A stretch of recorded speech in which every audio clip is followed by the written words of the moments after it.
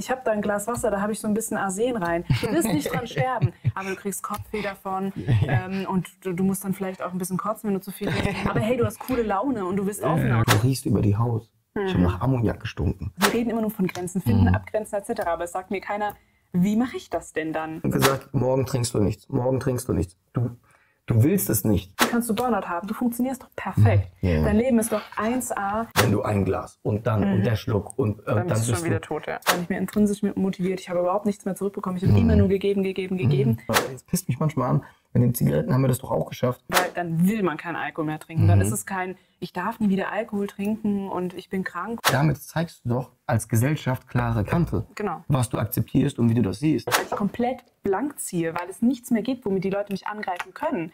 Ja, die Leute können nicht mehr kommen und sagen, ich habe gehört, du hast ja deinen besten Freund verprügelt. Hm. Sage ich ja. Drogen? Nein. Ich trinke Alkohol. Mhm. Ja, Drogen, er nimmt Drogen, aber. Jedes Mal sagen die mir genau, wie viel sie trinken, wann sie trinken, in welchen Situationen und ja nur den besten Wein. Und dann finde ich es super billig, dann zu sagen, ja, der Marius, ja, der hat ein Problem, weil er mit Alkohol getrunken. Du kennst den ja so. Die mhm. stehen sich dann so billig aus der Affäre. Ja, Kostet genau. mich an sowas. Dann kam der Moment, wo ich horny wurde. Da habe ich dann meistens versucht, mir irgendeinen aufzureißen, bis ich mir aber die Typen aufgerissen habe. Du sahst doch vor zwei Stunden anders aus. Gott. Und dann kannst du die, wie willst dich da rausquetschen ja. aus der Situation? Und du hältst ihnen dadurch, dass du nicht trinkst, den Spiegel vor, dass es geht. Dass man auch einfach nicht trinken kann, dass man Spaß haben kann, wenn man nicht trinkt, dass das Leben geil ist, wenn man nicht trinkt. so, man konnte ja nicht sagen, wie sieht's aus, ist Lust, ja. sondern du musst es ewig reden und so. Und ja, wenn du bei mir gewesen wärst, dann. Aber, Hast du das auch mal direkt gesagt? Ja. Ja, und dann, echt? Nee. Das strengt mich an einem gewissen Punkt an. Total. Kennst du das? Ja, ich kann das überhaupt nicht abhaben. Also ich hasse Smalltalk auch einfach. Das ist einfach so. es ist okay, es ist deine Entscheidung. Ich finde es nicht verwerflich. Ja. Aber äh, du musst für dein Verhalten die Verantwortung genau. tragen. Und du weißt genau, wie du wirst, wenn du Alkohol trinkst. Genau. Also hast du dich vorher auch entschieden, so zu werden. Ey, Jana, danke. Amen.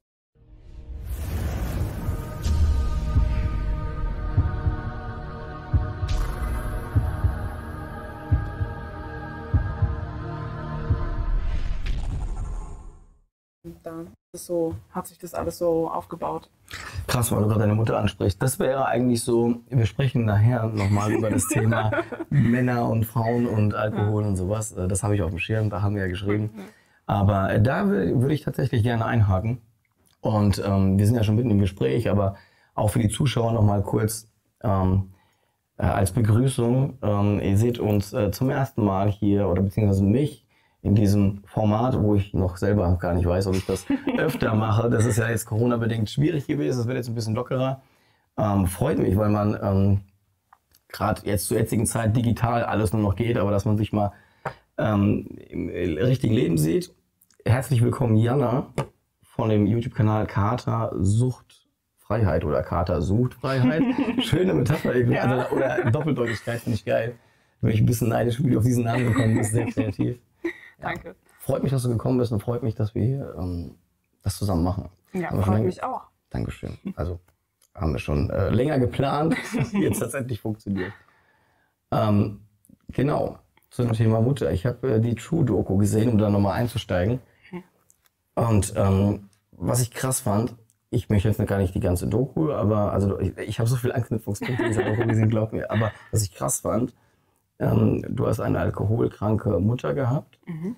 ähm, äh, schwerst krank, musstest sehr früh in der Kindheit schon lernen, Verantwortung zu übernehmen, auf sie aufzupassen, ähm, was, denke ich, mit Sicherheit was äh, mit, mit, mit, einem auch macht. Mhm.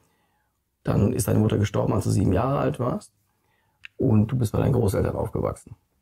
Und dann ist dein Großvater gestorben, als du 20 warst. Korrekt?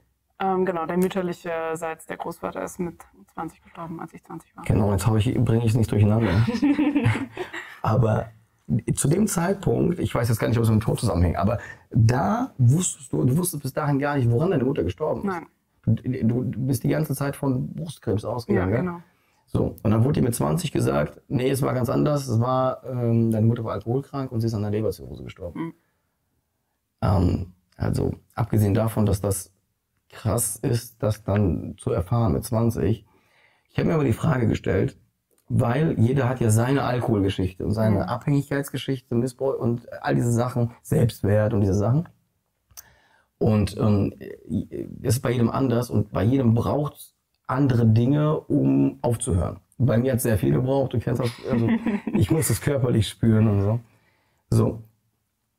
Bei dir war es eher, ich sag's jetzt einfach mal, vielleicht ist der Begriff falsch, aber aus der Vernunft heraus. Also es, ich nenne es jetzt einfach mal so abgekürzt. Ähm, wie viel hat dabei die, eine Rolle gespielt, dass du mit 20 erfahren hast, dass deine Mutter daran gestorben ist? Das hat tatsächlich eine sehr große Rolle gespielt, weil ich habe natürlich auch in meiner Jugend sehr oft versucht, mich ähm, mit meiner Kindheit auseinanderzusetzen und mit dem Tod meiner Mutter, weil ich halt ja, gemerkt habe, ich bin einfach anders als die anderen und ähm, ich bin auch eher depressiver veranlagt als die anderen und so. Das, das hast du damals schon gemerkt? Genau, ja, das habe ich damals schon gemerkt. Woran, woran hast du das festgemacht? Weil ich habe da ganz lange dafür gebraucht, um bei mir zu merken, dass ich depressiv bin. Ich habe das gar nicht gespürt, sehr, sehr oft. Weil nicht fest, nicht für mich so benennen können, dass es das ist. Okay. Ähm, ja, ich hatte so einfach, die, also ich habe irgendwie schon sehr klar wahrgenommen, wenn ich diese depressiven Phasen hatte oder dass ich mehr so auf diese Melancholie stehe und ähm, dass andere viel, viel mehr lachen und viel freudiger und ausgelassener sind und ich einfach immer viel ernster bin und Sachen auch viel pessimistischer sehe. Mhm. So, wie, wie hast du das wahrgenommen? Ich, äh, ich habe das, ähm, also auch, auch, auch das. Ich habe dann aber natürlich trotzdem Phasen gehabt, wo ich viel gelacht habe und Freude hatte. Mhm. Aber ich hab, das war natürlich nicht so reflektiert, um das im Kontext Alkohol zu, also ich hatte diese Phasen unter Alkohol gehabt. Ah, okay. Und auch da, also es war ja mehrfach, war ich ja abhängig vom Alkohol. Es war nicht nur die Angststörung gewesen, die ich, wo ich die Symptome damit betäubt habe, sondern ich bin dadurch aus meiner Depression auch rausgekommen. Ach, Also ich, krass, kon, ich konnte durch den Alkohol sozusagen aus der Depression für die kurze Zeit ausbrechen. Also augenscheinlich, das ist ja eine Lüge Mhm. Ja, halt das Ganze. dann, aber hast du gemerkt, dass es dir danach wieder schlechter geht, wenn Ja, du trinkst? voll. Äh, also, also äh, vor allen Dingen ähm, nach dem Trinken war. Ja. Ich hatte die schlimmsten Panikattacken, Angstzustände und Depressionen einen Tag nach dem Trinken. Aber hast du das in Wirklich. Zusammenhang gebracht mit dem Alkohol?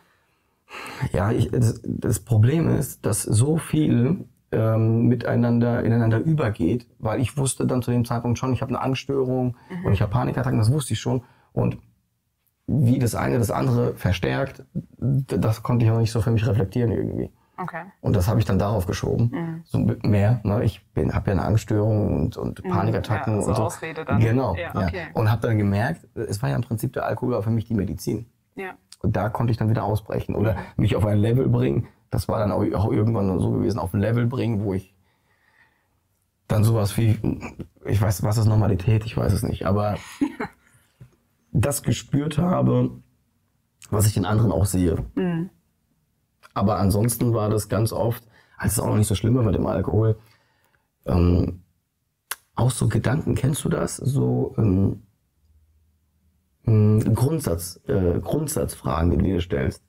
Also so Sinnfragen. Sinnfragen, ja. ja. Und wozu mache ich das überhaupt? Und ey, das ging so weit, ich weiß, will ich gar nicht so triggern, aber so, es ging sogar so weit, dass ich mir manchmal morgens, ich bin aufgestanden und habe mir die Frage, und, und kein Scheiß, wirklich so. Ich habe mir die Frage, und ich habe die Gedanken gehabt, so, ich muss zur Arbeit. Und dann dachte ich, ey, du machst dir die ganze Zeit Gedanken, ob du Karriere machst, ob du vielleicht irgendwann mal Chef wirst, aber außer dich selber, so, so in 30 Jahren oder keine Ahnung, irgendwann gehst du in Rente, irgendwann bist du nicht mehr da, in 100 Jahren weiß es gar, gar keiner mehr, dass es dich überhaupt gegeben hat. Ja. Und du machst dir jetzt Gedanken, ob du morgen, also so in diesem kleinen Kleinen, ich bin dann so mal, hab mal so rausgezoomt und hab das so im Großen und Ganzen gesehen immer und hab mir gedacht, das ist echt voll sinnlos, was du machst. Krass. Und dann bin ich aufgestanden, hab mir die Zähne geputzt, hab Musik angemacht oder irgendwas und äh, hab das beiseite geschoben. Aber das war teilweise morgens, waren das äh, Gedanken, die sind so automatisch gekommen. Diese Sinnfragen, morgens. Ja. Ohne dass ich irgendwie, dass es da einen Trigger dafür gab. So, daran habe ich das auch gemerkt. So, dass das nicht, da habe ich auch mit keinem drüber gesprochen, dass das auch wahrscheinlich nicht normal ist, dass andere Menschen das nicht haben. Also sowas. Aber wir sind, wir haben jetzt voll den Bogen geschlagen. Aber was mich interessiert, um auf die Frage zurückzukommen, ähm, du hast irgendwann den Punkt gehabt, dass du gesagt hast, das hat keinen Sinn. Du hast einen riesen Streit gehabt mit einem Kumpel, den du verprügelt hast. Ja. Ähm, auch da, das hat mich tief berührt, was du da gesagt hast. Äh, dann direkt angefangen. Du hast im Prinzip wie so einen Nervenzusammenbruch ein bisschen gehabt. Ne? Ja. Also ich habe ihn ja auch, ich hatte zu der Zeit, ähm, das war eigentlich so die Hochzeit, wo es mir am allerschlimmsten ging, wo ich dann auch mit meinem Ex-Freund, ähm, das war ja diese ganze Geschichte mit dem, seinem Krebs und Ghosting und diese ganzen Sachen.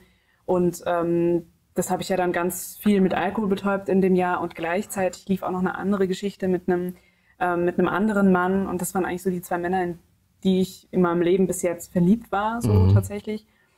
Und ähm, ja, und das war, das war alles mega psychisch anstrengend für mich. Und ich habe, jetzt im Nachhinein kann ich sagen, ich habe halt meinen besten Freund verprügelt anstelle dieser zwei Männer, die halt diesen starken Druck auf mich ausgeübt haben. Ähm, und genau, dann ist es halt also rausgekommen und das war ja, ich war vollkommen von der Rolle. Also ich habe dann total angefangen zu flennen und er hat mich dann in den Arm genommen und getröstet und ja. Aber auch sehr, also ich meine, er war bestimmt auch betrunken gewesen. Ja, ja, klar. Ja, auch sehr, sehr ähm, wie soll ich sagen, vielleicht war es Intuition, er hat das vielleicht gemerkt, dass du das Ja. brauchst. Aber es ist eigentlich krass. Also ich habe mir gedacht, krass in der Situation, du wirst gerade verprügelt, sehr emotional. Und dann hast du diese Reife oder diese, diese, diese Intuition, okay, ähm, das war gerade nicht sie gewesen. Also cool. Ähm, das war so ein Schlüsselerlebnis gewesen für dich, gell? Auf jeden Fall, ja. Und halt ein anderes, ähm, oder es war eigentlich diese ganze Zeit, wo es mir, wo es mir einfach so dreckig ging und ähm, wo ich mich auch von diversen Männern sehr schlecht habe behandeln lassen. Also das war da irgendwie auch so ein, das, da gab es sehr viele Schlüsselmomente. Ähm, Auch wegen abhängig, also auch diese, diese, diese Abhängigkeit, weil du vielleicht äh, deine Emotionen auch von den Männern ab, abhängig gemacht ja, hast. total, total. Du hast das, ja. Auf jeden Fall. Und ähm, ja, also um auch auf die Frage zurückzukommen, die du vorhin noch gestellt hast, diese Schlüsselmomente und die Tatsache, dass ich dann erfahren habe, Anfangs 20, dass meine Mutter am Alkohol gestorben ist, ähm, haben halt in mir irgendwann so kumuliert, dass ich gesagt habe, okay, ich kann so nicht mehr weiterleben, ja, ich muss irgendwas ändern. Und dann habe ich mich halt ähm, ja, mit, mit Alkoholismus in der Familie beschäftigt. Und ich glaube, wenn ich das nicht erfahren hätte, dann wäre ich gar nicht zu diesem Punkt gekommen, weil durch dieses Beschäftigen mit Alkoholismus an sich und mit dem Alkohol an sich bin ich dann dazu gekommen, dass ich gemerkt habe, okay, Alkohol ist einfach ein Gift und Alkohol tut einem nicht gut und fördert Depressionen und was er alles macht. Und ähm, konnte halt dadurch dann auch nicht die positiven Beispiele sehen, die es damals ja leider noch nicht so viele gab, aber es gab schon welche mit Blogs und Podcasts, die eben gezeigt haben, man kann auch ohne leben, was ich ja gar nicht wusste so. Und das hat dann ja eigentlich zu der Vernunftentscheidung geführt tatsächlich. Krass, ja. Also das hat mich echt interessiert, weil ich, also mir war klar gewesen, als ich das gehört habe und mir das angeschaut habe, dass ähm, äh, weil bei ganz vielen Menschen, es ist sehr selten, dass ich das höre, bei ganz vielen Menschen ist es ja so, dass äh, sie merken irgendwann, sie haben ein Problem, ähm, psychische Abhängigkeit vielleicht oder sogar noch schlimmer oder missbräuchlich, whatever. Jeder baut dann irgendwann mal Scheiße oder kommt in Probleme, so wie du mit deiner Prügelei oder ich hatte auch Führerscheinentzug gehabt, also viele Sachen. Ich- Viele Dinge, wo ich hätte drüber stolpern können. Und dass Alkohol ungesund ist und so. Aber das ist so abstrakt. Ne? Und dann, viel, also wenige schaffen das aus der, ich sag's jetzt mal, nur Vernunft. Weil diese, dieser Moment der Vernunft, den haben viele. Aber der dauert meistens nicht lange an und dann trinkt man weiter, sehr, sehr oft.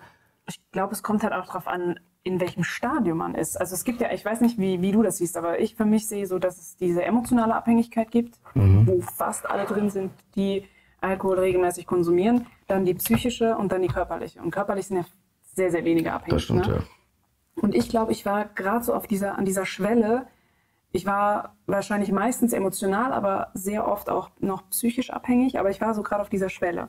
Und ich glaube, das ist, oder das ist so meine Vermutung, die ich habe, dass es vielleicht in der emotionalen Abhängigkeit und auf dieser Schwelle noch möglich ist, ähm, leichter durch die Vernunftebene abzu, äh, aufzuhören. Ja, bestimmt. Also das, das wird bestimmt so sein. Es hat best- auch, denke ich, viel was mit äh, Lebensumständen auch, also wie- oder, oder Lebensphase vielleicht zu tun. Du hast ja auch studiert und Ja. äh, sowas zum Beispiel. Und wenn du dann vielleicht auch in so einem gewissen, nennt man das Setting bist, Lebenssetting bist, Lebensphase bist. Ähm, also es hat verschiedene Faktoren. Ich kenne auch im privaten Umfeld Leute, die wissen seit wirklich Jahren, dass sie ein Problem haben. Und ähm, da kommt die Vernunft immer mehr durch, weil ihnen auch viel Scheiße passiert und sowas. Und die sind auch in dieser, also schon mehr Richtung psychische Abhängigkeit, aber auch so dazwischen, aber schaffen es halt nicht aus der Vernunft heraus. Und mein, mein Gedanke war nur bei dir gewesen, ähm, durch ähm, Fälle in deinem nahen Umfeld, familiär, aber du siehst wirklich jemanden, dem es, ähm, also das bekomme ich, also bekomme, bekomme ich ja auch oft gesagt, dass Leute durch meine Geschichte, auch in meinem privaten Umfeld, jetzt, wo die merken, auch so, weil die vielleicht gar nicht so nah an mir dran waren, wie heftig das eigentlich war, was ich eigentlich durchgemacht habe, selber sich so hinterfragen und selber denken, Alter, das ist, äh, eigentlich ist das scheiße und sowas. Ne? Und ich will damit nur sagen, es wird greifbarer dadurch. Das ist, ich glaube, das ist so ein entscheidender Faktor, weil wissen tun wir das, ne? aber es ist ein Unterschied. Und wenn du das mit der, vielleicht mit der Mutter, das, das habe ich mir gedacht, wenn du das mit der Mutter hattest, dann war das vielleicht so was Greifbares für dich gewesen. Vielleicht war das der, der Unterschied. Würdest du das, würdest du das für dich so ähm, schwierig, weil es hypothetisch ist, ne? Klar. Schwierig. Aber ich glaube eben schon, dass es sehr, sehr wichtig war, dass ich das mit meiner Mutter hatte, weil ich dadurch diesen, diesen Anhaltspunkt hatte. Und ich glaube, wenn man, ja, wenn man in seinem Umfeld ähm, jemanden hat, der entweder das Problem hat oder es auch schon überwunden hat, dann kann man daran anknüpfen, wie du sagst. Ne? Und ich glaube eben auch diese positiven Beispiele bei mir waren vor allem auch der Knackpunkt, ja, die mir gezeigt haben, es geht halt auch anders. Und deswegen glaube ich, dass es halt auch so wichtig ist, dass wir das einfach nach außen tragen, weil es halt Das ist- positive Beispiele sind. Guck Ne? mal, das, das, hast du was, das, das hast du was richtig, richtig gut. Das haben wir ja davor schon auch im Off-Cam quasi gesprochen. Ähm, dass, ähm, also ich, ich will jetzt kein Unrecht tun. Es kann ja sein, dass es auch schon viele Kanäle gab und man hat die vielleicht nicht so mitbekommen oder ich habe sie nicht mitbekommen. Oder ähm, weiß ich jetzt nicht. Aber ähm, ich habe das Gefühl, dass das äh, seit zwei Jahren, in den letzten zwei Jahren ein bisschen gekommen ist. Und ich sage auch immer, wenn Leute mich nach meiner Motivation fragen, ähm, ich habe damals nichts gefunden dazu. Gar nichts. Also da musstest du, klar, du, klar, du konntest das googeln und hast da halt ähm, die Einträge gefunden, so theoretische Ja. äh, Buchabschriften, so, das hast du eh gewusst. Das war nichts Greifbares, das hat dir auch nicht wirklich geholfen. Aber Leute, die davon erzählen, aufklären oder so, ich habe ich hab fast nichts dazu gefunden. Aber wie, was, was war denn bei dir so der, der auslösende Punkt oder der Hilfspunkt, der dich dann rübergezogen hat? War, war, ähm, also du meinst jetzt ähm, wegen YouTube oder wegen dem Aufhören? Beim? Aufhören. Ja. bei mir, das muss ich so, so hart sagen, war, hat Vernunft gar keine Rolle gespielt. Ähm, also wenn du willst, kannst du es Vernunft nennen, aber das hat nichts mit Vernunft zu tun gehabt. Weil wenn du, und ähm, ich sage das immer, immer ein bisschen martialisch in meinen Videos, aber das ist, das ist tatsächlich so. Das in der Entzug, ich war in der Entzugsklinik gewesen und die sagen, die nennen das dort auch so, die machen dort begleitet, bisschen makaber, aber begleitete Sterbehilfe. Wow. Das, äh, also ein, das habe ich, diesen Begriff habe ich einmal gehört von einem Pfleger, ähm, weil Leute da wirklich, gehört halt, wenn du körperlich abhängig bist, sehr oft zur Krankheit dazu, dass du leider diese Schleife immer wieder machst und diesen Suchtdruck bekommst, Rückfall und dann bist du körperlich drin. Das ist nochmal eine andere Kiste als, das ist mehr als dieses Emotionale. Du, du schaffst das mit Vernunft nicht mehr. Es gibt Leute, ey, die- ich bekomme Zuschriften mit kalten Entzügen und sowas, so richtig, richtig, richtig und das ist auch scheiße gefährlich und so. Und ich Ja, war so weit, ich habe diese emotionale, psychische, ich habe alles durchgespielt und dann war ich im Körperlichen drin und da bin ich nicht mehr rausgekommen. Ich bin, und das war dann wirklich, ich bin dann irgendwann in eine körperliche Phase gekommen. Ich, kennst, ich weiß nicht, du hast auch gesagt, du hast abgenommen. Man wird ja so aufgedunsen. Ja, ja. Ich habe aufgedunsen, ganz viel Partybilder von mir, ich kann die nicht mehr sehen. Ey, dann äh, war, ich weiß nicht, ähm, also äh, warst du viel im Solarium? Du bist ja, hast ja im Dunkeln. Ein bisschen Nee, dunkel. gar nicht. Gar nicht. Ja. Ey, Bilder, so Party-Shooter-Bilder, rote Fresse vom Solarium, Oh weil du noch 20 Minuten denkst.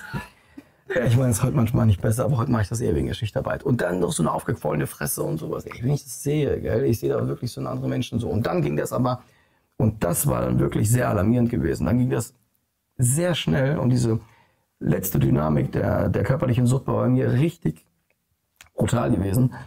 Dann ist das umgedreht. Ich konnte nichts mehr essen. Also ich habe gegessen, habe es ausgebrochen. Ich habe gegessen, habe es ausgebrochen. Ähm, dann habe ich ein Bier getrunken. Das hat so geschäumt in meinem Magen. Ich habe das Bier ausgebrochen. Dann habe ich getrunken, habe das ausgebrochen. Das ist das sogenannte, dann kam, das nennt sich äh, im Fachjargon Trockenkotzen. Äh, du erbrichst dich morgens, obwohl du nichts im Magen hast. Ähm, also das kennst du eigentlich nur so von Alkoholvergiftungen, wenn dann noch Galle kommt, aber da Ja. dann noch nicht mal Galle kam. Es kam Galle und danach kam nichts mehr. Und es hat sich so angefühlt, als ob es, es war schlimm. Es war, mein Körper hat mir gezeigt, ich habe abgenommen. Ich war nur noch, ja, ich bin jetzt eben noch nicht der, äh, ich bin, um dir mal, ähm, ich bin 1,74. Heute wiege ich, ja, es schwankt halt 77 Kilo. äh, So, also gut, äh, gesund. so kann man, kann man so lassen. Und ähm, ich habe zu meinem schlimmsten Zeitpunkt habe ich 60 Kilo gewogen, 59 Kilo gewogen. Ich war, äh, ich habe das Einzige, ich habe dann Bier getrunken, so nach dem dritten, vierten Mal erbrechen ist es drin geblieben. Da konnte ich ein Bier trinken. Dann konnte ich noch ein Bier trinken, dann konnte ich aber nichts essen. Dann habe ich trockenes Toastbrot gegessen, nur damit mein Magen was dran ist. Mhm. Ich habe so Haribos immer gehabt und habe diese Haribos wegen Zucker. Ich habe so dramatisch abgenommen. Ich habe im Kopf gemerkt, ich, das, diese Geschichte erzähle ich immer wieder. Das war das erste Mal, dass ich das gemerkt habe. Ich bin in den Supermarkt gegangen. Ich wollte mir ein Shampoo kaufen Mhm. und frag mich nicht, was ich da gelesen habe, aber ich wollte irgendwas lesen und ich habe die Wörter gelesen, habe es aber rationell nicht verstanden, was da steht. Und dann dachte ich, was ist denn los mit dir? Dann habe ich irgendwann gemerkt, das habe ich selber nicht gespürt, die Leute in der Supermarktkasse, die drehen sich so zu, äh, zu mir um. Ich hatte das erstmal gar nicht so wahrgenommen, aber das ist mir öfter passiert. Und irgendwann, damals meine damalige Lebensgefährtin hat gesagt, du riechst über die Haut. Ich habe nach Ammoniak gestunken. Also lange Rede, kurzer Sinn, könnte ich noch viele Situationen erklären. Das war richtig dramatisch. Dann irgendwann hat es dramatische Züge bekommen. Und dann, und jetzt weiß ich nicht, ob man es Vernunft nennen kann, ich habe die Pis- Pistole auf die Brust gesetzt bekommen. Und mir war klar gewesen, weil ich habe mir, ich habe Situationen gehabt, da habe ich gebetet und gesagt, morgen trinkst du nichts, morgen trinkst du nichts. Du, du willst es nicht. Und dann stehst du auf und sagst, okay, ich trinke jetzt nicht. Und dann ist dir schwindelig, hast kaum gegessen die letzten Tage. Und dann ähm, sagst du, okay, du trinkst nicht, dann guckst du auf die Uhr und dann sagst du, okay. Und dann, ich habe so absurde Momente ge- gehabt, wo ich mir gedacht habe, ähm, okay, so ab 16, 17 Uhr trinkt ja ein normaler Mensch sein Feierabendbier.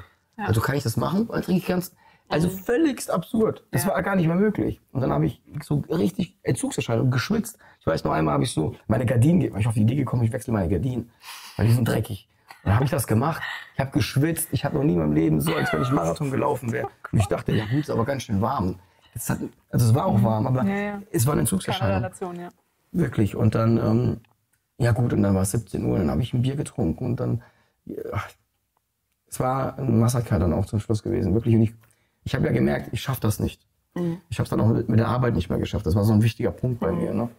Auf jeden Fall war es dann letztendlich keine Vernunft, sondern ich habe gesehen, zu was es führt, weil mir war schwindelig. Es war auch so, war, gab auch so Momente, wo ich äh, so nicht ganz bei mir war, wo ich das, den Eindruck hatte, ich kipp gleich um oder sowas. Und meine damalige Lebensgefährtin hat auch, das war auch so ein Satz, den weiß ich bis heute, rückwirkend gesagt, ich habe jeden Tag, weil sie war arbeiten, ich habe jeden Tag die Angst gehabt, ich komme nach Hause und du liegst auf dem Boden. Und äh, das war absolut realistisch zu dem Zeitpunkt. Und dann, das hat mich dazu bewegt, ich bin zu meinem Arzt gegangen und habe gesagt, was im Zustand, das war auch unübersehbar. Ja, und dann haben, klar, dann hat er gesagt, sie müssen, sie werden sterben, wenn sie so weitermachen.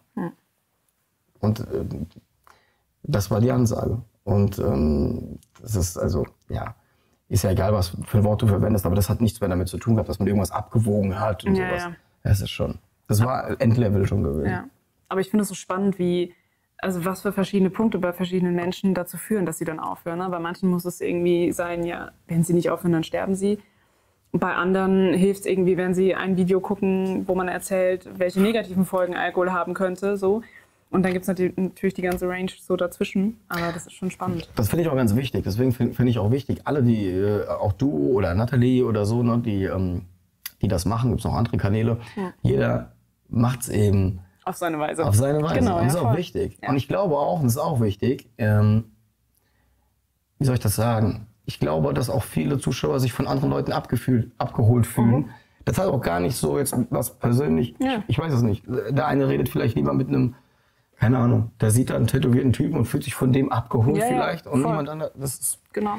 Ist auch gut, dass Ja. man da eine große Bandbreite anspricht. Ja, finde ich auch. Ich finde auch, dass es einfach mehr geben sollte, weil ich finde, man sieht es auch in anderen äh, Bereichen. Da gibt es ja auch also viel, viel mehr Kanäle zum Beispiel oder Podcasts oder sowas. Und die nehmen sich jetzt nicht mega die Zuschauer weg, weil wenn man sich für dieses Thema interessiert, dann möchte man und sollte man sich ja so weit wie möglich und bei so vielen wie möglich informieren. Und Voll.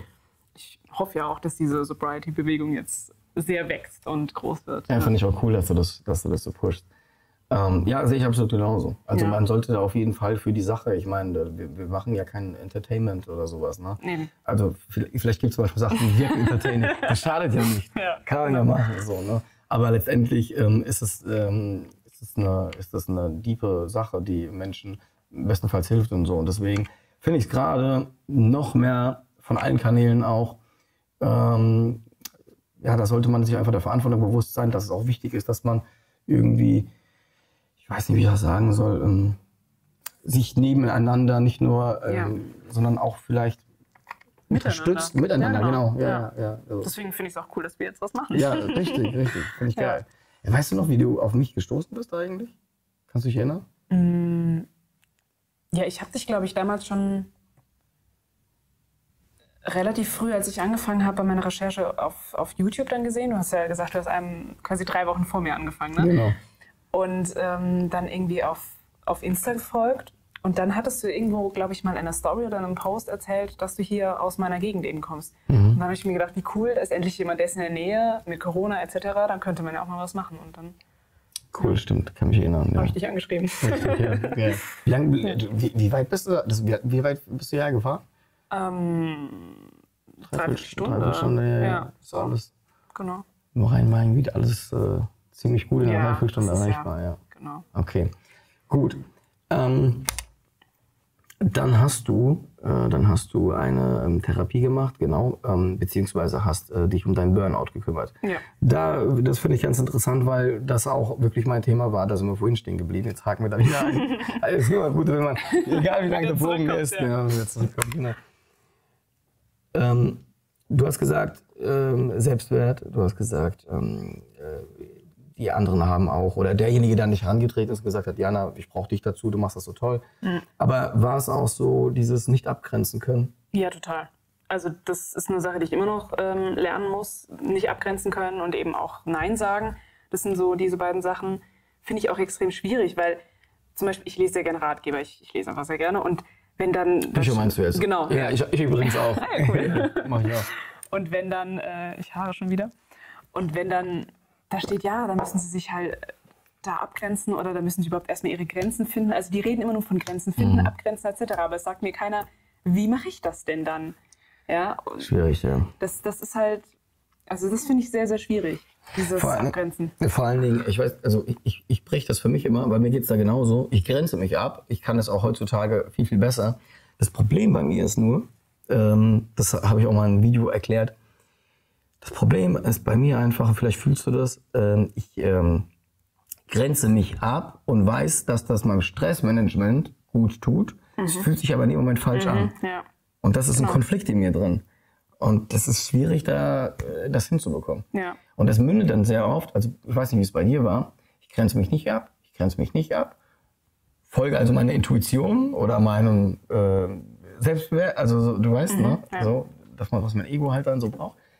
So, ich merke aber, dass der Stress größer wird. Und ich merke, und das, ich merke schon, das ist eigentlich zu viel so, aber ich kann nicht Nein sagen. Und dann irgendwann kommt dann so eine Situation, wo es auch voll unangemessen ist, wo es Genau. dann, wo dann aber die eine Situation zu viel ist. Ja. Und dann bekommst- explodiert es. Genau. Genau, ja. So. Also das kennst du auch. Ja, total.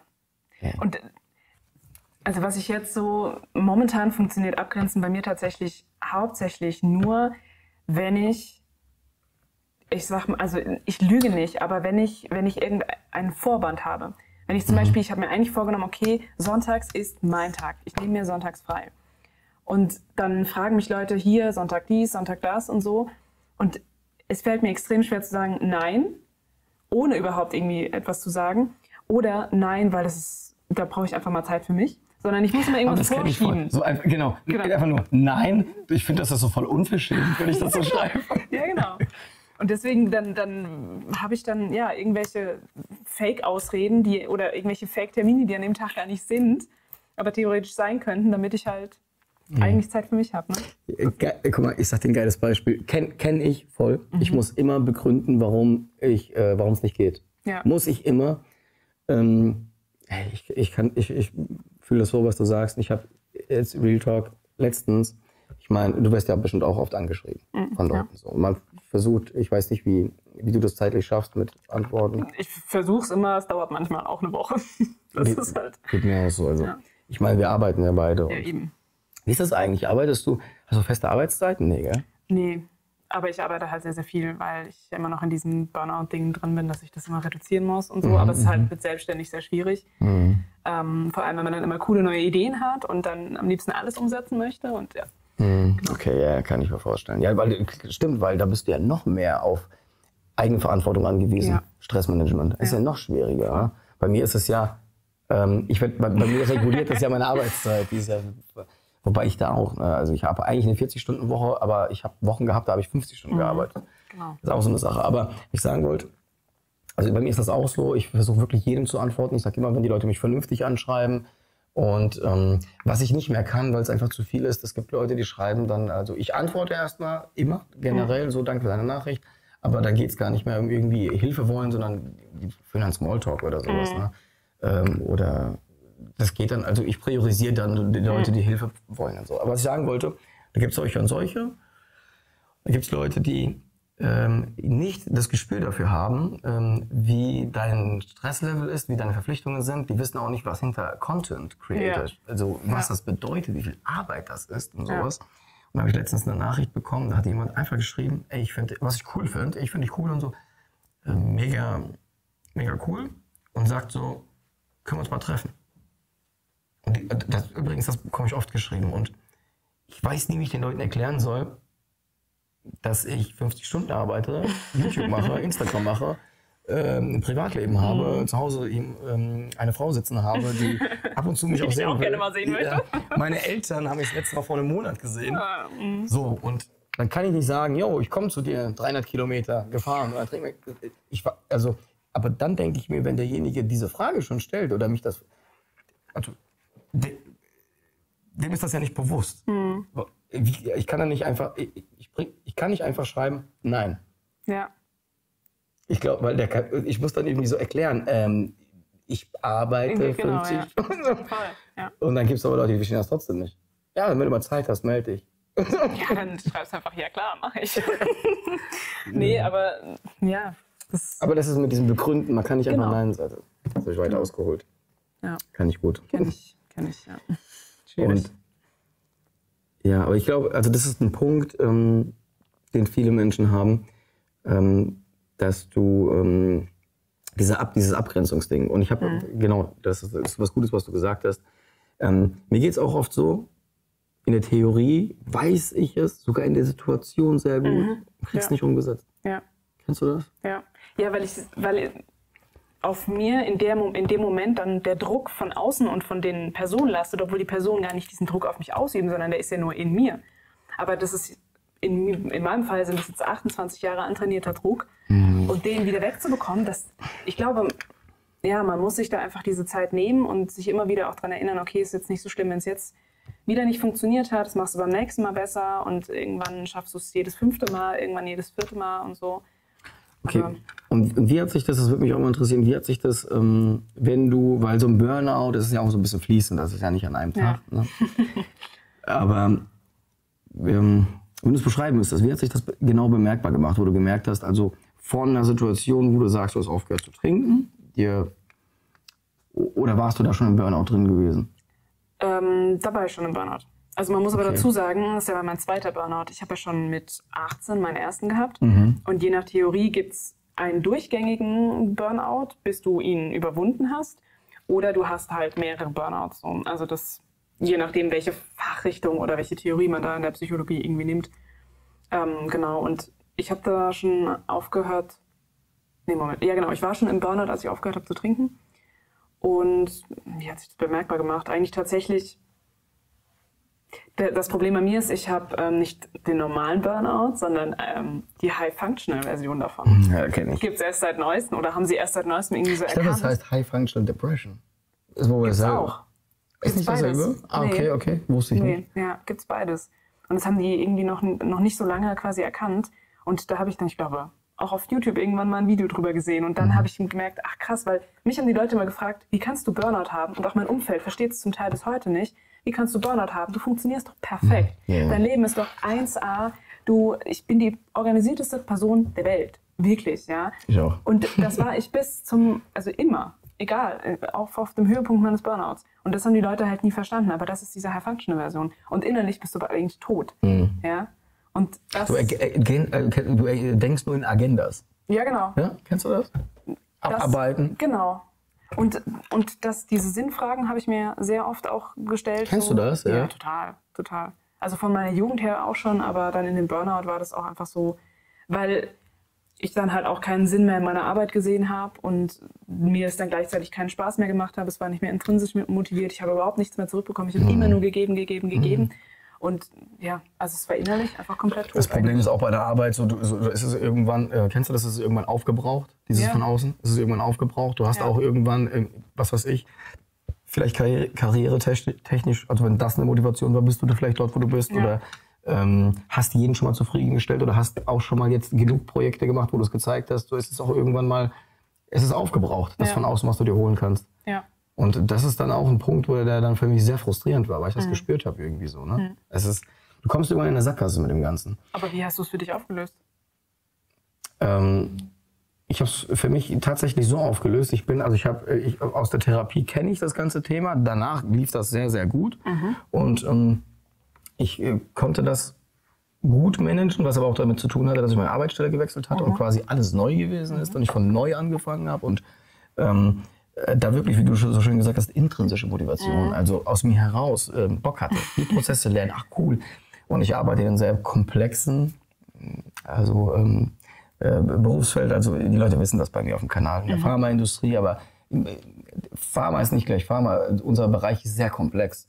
Wir machen alles, ähm, wird jetzt nur langweilig, was aber es ist sehr komplex. Also sehr viel lernen, neue Kollegen, neues Setting, neues, von Tag zu Tag immer was Neues lernen, aber sehr viel intrinsisch dabei gewesen. Und ich habe gar nicht gemerkt, wie das irgendwann, weil dann haben die, hey, du machst das cool, du machst das, also das war beides, intrinsisch und cool. von außen kam Ja. auch dieses, ey, du, du äh, wirst schnell eingearbeitet, du verstehst die Prozesse schnell. Ich habe noch niemanden gesehen, der das so schnell kapiert und sowas. Beides, das war wunderbar, mir ging es super zu dem Zeitpunkt. Das ging, ähm, und irgendwann kam der Punkt, wo dann auch dann zur Debatte stand, du könntest doch hier auch mal hier so Führungskraft. Und dann, das war der Beginn, wo ich mich wieder verloren habe, weil ich dann nebenberuflich, ich arbeite Schicht, früh, spät, Nacht und ähm, viel und so. Und dann habe ich gesagt, ja, ich mache das nebenberuflich. Zwei, dreimal die Woche noch Schule. Habe ich samstags teilweise sechs Stunden Schule gehabt. Meisterschule, Industriemeister gemacht. Ging zweieinhalb Jahre ging das. Das hast du durchgezogen. Habe ich durchgezogen, ja. Und da, in dieser Zeit, habe ich mich wieder voll darin verloren und konnte keine, Gre- nur noch in Agendas. Du musst das noch in den Meisterkurs machen, für die Prüfung lernen, äh, deine Präsentation machen. Auf der Arbeit ja auch funktionieren. Ja, ja, klar. Auch. Du willst ja. Ja. immer noch, ah, du kannst das so gut lernen, du bist ja so Ja. gut, kriegst das alles Und hin. Privatleben natürlich auch noch, ne? Da will ja, auch jeder. Ja. Genau. So, ich muss wirklich sagen, muss man wirklich sagen, ähm, ich habe eine Frau, damals Freundin gehabt, die super viel zurückgesteckt hat. Also ganz viele Beziehungen hätten das vielleicht nicht mitgemacht in der Zeit. Das weiß ich auch wirklich zu schätzen. So, und in der Zeit, äh, das hat alles wieder, alles wieder ganz schlimm gemacht. Da war ich in einer ganz schlimmen Phase gewesen. Und als ich diesen Meisterkurs bestanden habe, dann habe ich auch die Stelle bekommen und so. Aber da hattest du ja schon keinen Alkohol mehr getrunken, ne? Genau, habe ich keine Alkohol mehr. Und hat dich das dann irgendwie getriggert oder hast du da, hattest du überhaupt Trigger oder, oder Cravings Alkohol. oder sowas? Ja. Ich muss tatsächlich sagen, diese typischen Craving-Situationen hatte ich nicht gehabt. Ja, ja. Hatte ich nicht gehabt. Ähm, ich habe dann aber auch so typische Settings dann auch irgendwann auch gar nicht mehr besucht. Weil, wo willst du die Zeit dafür noch haben, mit dem ich gerade beschrieben habe? Wie ist das? Das würde mich mal bei dir interessieren. Wie ist das, weil du ja sagst, emotional, psychisch, ne? körperlich war bei dir ja nie gewesen. Hast du ähm, eine Form von Suchtdruck gespürt, psychisch?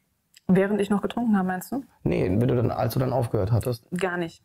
überhaupt nicht. Ja, also ich muss tatsächlich sagen, dass ich da, glaube ich, sehr, sehr viel Glück hatte. Und ähm, ich hatte seit, also ich sage immer, es gibt so einen Klickmoment, ja. Und wenn man diesen Klickmoment hatte, dann ist es auch kein Problem mehr. Dann will man auch nie wieder Alkohol trinken, weil dann will man keinen Alkohol mehr trinken. Dann ist es kein, ich darf nie wieder Alkohol trinken und ich bin krank und so, sondern dann will man es nicht mehr. Und ich hatte tatsächlich diesen Klickmoment mit dem Tag meines Aufhörens. Und ähm, seitdem, also ich kann es auch einfach nicht mehr verstehen. Ich, ich wüsste nicht, warum sollte ich Alkohol trinken. Es wäre genauso, wie wenn du zu mir jetzt sagst, hier, ich habe da ein Glas Wasser, da habe ich so ein bisschen Arsen rein. Du wirst nicht dran sterben, aber du kriegst Kopfweh davon ähm, und du, du musst dann vielleicht auch ein bisschen kotzen, wenn du zu viel trinkst. Aber hey, du hast coole Laune und du bist aufgenommen. So. okay. Ich so, äh, also, alles also gut, aber geil, nee. Geil, wie du das beschreibst, weil absolut so sehe ich das heute auch, wenn Leute, wenn Menschen mich fragen äh, nach, ähm, äh, so ich zum Beispiel das ist auch bekannt, habe ich den Leuten auch schon erzählt. Ich trinke, äh, trinkst du alkoholfreies manchmal? Nur Nuller trinke ich. Also wenn es wirklich komplett alkoholfrei ist, trinke ich schon. Okay. Hast du irgendwie da, hast du Bedenken gehabt, bevor du das getrunken hast? Als du zum ersten Mal so 0-0, dass du Nee. nicht das? Nee, gar nicht. Also mir Okay. war halt, mir war von vornherein klar, das alkoholfreie Bier hat Alkohol drin und das 00er nicht. Deswegen war mir es immer wichtig. Und wenn ich nicht weiß, weil es gibt ja auch jetzt so alkoholfreie Alternativen, was weiß ich, Wein, Gin, bla bla bla. Mhm. Und manche haben ja noch Alkohol drin. Und wenn ich das nicht weiß, dann trinke ich es nicht, weil will ich einfach nicht. Wenn es wirklich safe ist, dann schon, obwohl ich es meistens. Und es ist dir noch nie passiert, dass du, ähm, es gab nie den Moment, wo du gesagt hast, ich trinke mal einen Schluck oder ich, ähm, also du hast seitdem wirklich keinen Tropfen getrunken? Ja. Okay, das ist sehr konsequent, muss ich sagen. Wobei, wobei ich, ja doch, ich habe tatsächlich, das kam bei mir das erste Mal, aber muss ich sagen, da war ich drei Jahre trocken. Mhm. Oder nüchtern. Manche mögen das Wort ja nicht, aber es, wir wissen ja, von was wir sprechen. Ja, und ähm, ich sag dir, das hat mich erschreckt. Ja. Das hat mich erschreckt, weil das Problem ist, damals auch zu dem Thema, es gab keine Kanäle. Das heißt, ich musste, das, was die Leute mir gesagt haben, musste ich ähm, für mich als wa- wahre Münze sehen. Wa- Wahre Münze, sagt man das? Bare Münze. Genau. Also, und ähm, so, und, und du bekommst halt sehr viel, weil der Psycho, deswegen empfehle ich auch Psychotherapie, weil man individuell arbeiten kann. Aber der Psychotherapeut ist kein Suchttherapeut. Also der ist darauf nicht spezialisiert, da geht es um andere Dinge. So. Und in der ähm, Suchthilfe ist es halt so, da gibt es halt sehr dogmatische Ansätze, auch sehr alte Ansätze. Ja. Vieles, was stimmt, also das möchte ich nicht in Abrede stellen, aber vieles, was pauschal gesagt wird Ja. und nicht individuell auf dich, weil es muss nicht alles so, du verstehst, wie ich das meine. Ja, ne? So, und da gibt es auch immer nur Pauschallösungen. So, und das hat mich immer gestört. Und deswegen mache ich auch den Kanal, da will ich auch zeigen will, es gibt Sachen dazwischen. Jeder Mensch ist anders und so. Das ist halt einfach so. so. Und das, ich habe halt immer drei Jahre lang eingetrichtert bekommen, diese Dogmen. Und wenn du ein Glas und dann und der Schluck und äh, Dann bist du schon wieder tot, ja. Also ich habe wirklich in Klischees gedacht, in Dogmen gedacht und, und in dem Moment, das Setting war auf einem Konzert, das habe ich auch schon mal auf meinem Kanal erklärt, ähm, wo ich dann tatsächlich, äh, wir waren danach, davor beim, bei der Fast, Fastfood-Kette Essen, da bekomme bekomm ich mal so einen schlotzigen Mund, so richtig Mhm. ja. Durst. Dann war das in der Konzerthalle so warm gewesen, da hatte ich Durst, dann war ich auf Toilette, dann war die Schlange so lang. So, und meine damalige Freundin, heutige Frau, hatten so ein Bier in der Hand gehabt. Mhm. Und ich sehe nur das Konzert fährt an. Die Schlange ist so lange. Und dann habe ich gesagt, komm, gib mal einen Schluck. Hat das gemacht. Und ich habe in dem Moment wirklich äh, Angstsymptome bekommen, eine halbe Panikattacke bekommen. Ich musste auf Toilette gehen. Aha. Nicht, weil ich Angst hatte, dass ich jetzt weiter trinke, Mhm. aber weil all das, was drei Jahre lang mir erzählt worden ist, jetzt ist es passiert. ja, Verstehst okay, du? ja. Und dann dachte ich, was passiert jetzt? Jetzt Ja, passiert das, was die Leute mir gesagt haben. Und, und das ist auch so eine Message, die ich halt auch ähm, auf dem Kanal rüberbringen will. Es ist, ja, du hast getrunken, aber du bist dann nicht im Zombie-Modus. Du bist dann auch nicht im Autopilot. Ja. Du kannst dann sagen, ich höre jetzt auf. Ja. Und das finde ich so fatal, dass das nicht mal so vermittelt wird. Klar, die Leute wollen halt auch vermitteln, so, ähm, Tu es überhaupt gar tu nicht. es überhaupt gar nicht, ist ja. auch richtig. Deswegen will ich nicht dagegen sprechen. Aber das ist mir so wichtig, den Leuten Mhm. zu erklären, dass du, selbst wenn ich das ganze Bier getrunken hätte, ich hätte immer noch die bewusste Entscheidung, Entscheidung treffen Mhm. können. Dann ist es natürlich wichtig, hinterher, wie ist es dazu gekommen? Ja, Warum habe ich das? reflektieren. Genau, richtig. So, und dann bringt sich das weiter. Ja. Aber ich bin felsenfest davon überzeugt, ich weiß nicht, wie deine Meinung ist, Leute, die einen Rückfall haben, also einen Rückfall im Sinne von, die fangen wieder an zu saufen. Ja. Ein ganz großer Teil davon, meiner Meinung nach, ist, weil die ähm, nicht, nicht mit böser Absicht, aber so dogmatisch Mhm. dahin, ähm, sag mir es, dahin getrieben, Getrieben wurden, werden, genau, ja. dass die diesen Moment, der mir passiert ist, Mhm. ähm, dann bricht alles zusammen. Ja. Und das ist fatal Ja. in meinen Augen. Ja, ich habe auch ähm, relativ von Anfang an habe ich auf Insta ähm, einen begleitet, mit dem habe ich auch ein paar Mal telefoniert und mit dem schreibe ich auch immer noch, der eben aufhören wollte. Und ähm, der hat auch, der, der war zu dem Zeitpunkt, war er, glaube ich, äh, tatsächlich nüchtern und der hat er gleich ein, zweimal gehabt, wo er dann doch wieder was getrunken hatte und verleitet worden war und so. Und ich habe auch immer wieder zu ihm gesagt, hör zu, das ist nicht schlimm, lerne aber daraus. Ja? Also du kannst Richtig. ja heute wieder anfangen, heute ist wieder Tag eins, aber lerne daraus, reflektier, warum hast du das gemacht und so. Und der ist jetzt tatsächlich so weit, dass er in diese Situation wieder kommen kann und nicht trinken möchte, einfach weil er es nicht möchte, weil er es halt geschafft hat. Aber er hat halt diese Rückfälle, sage ich jetzt mal, gebraucht. Und jeder hat da auch seinen Weg. Ich meine, wenn ich früher gewusst hätte, dass man auch nüchtern leben könnte, hätte es auch sein können, dass ich auch ein paar Mal diese Erfahrung hätte machen müssen. Ja, Mhm. ich habe diese Erfahrung halt gemacht, ohne zu wissen, dass ich eigentlich nüchtern werden will, sondern ich habe halt, ich habe auch, ähm, das habe ich glaube ich noch nie erzählt, aber ich habe tatsächlich eine Phase gehabt, wo ich in meinem ähm, in meinem Kalender eine, eine Tabelle hatte, wo ich abgehakt habe, an welchem Tag habe ich Alkohol getrunken. Weil ich es halt eigentlich jetzt im Nachhinein reduzieren wollte. Das Mhm. habe ich damals aber nie so, das war halt unter dem Gesundheits, da habe ich auch geschrieben, wann ich spazieren gehen, was auch immer so. Aber im Nachhinein war das ja auch eine, eine Reduktionsvariante, die, die, ich da an, die ich da gemacht habe. Mhm. Und das war dann halt auch mein Weg. Also ich habe das irgendwo auch gehabt, nur hatte ich halt nicht im Kopf, dass ich nüchtern werden will.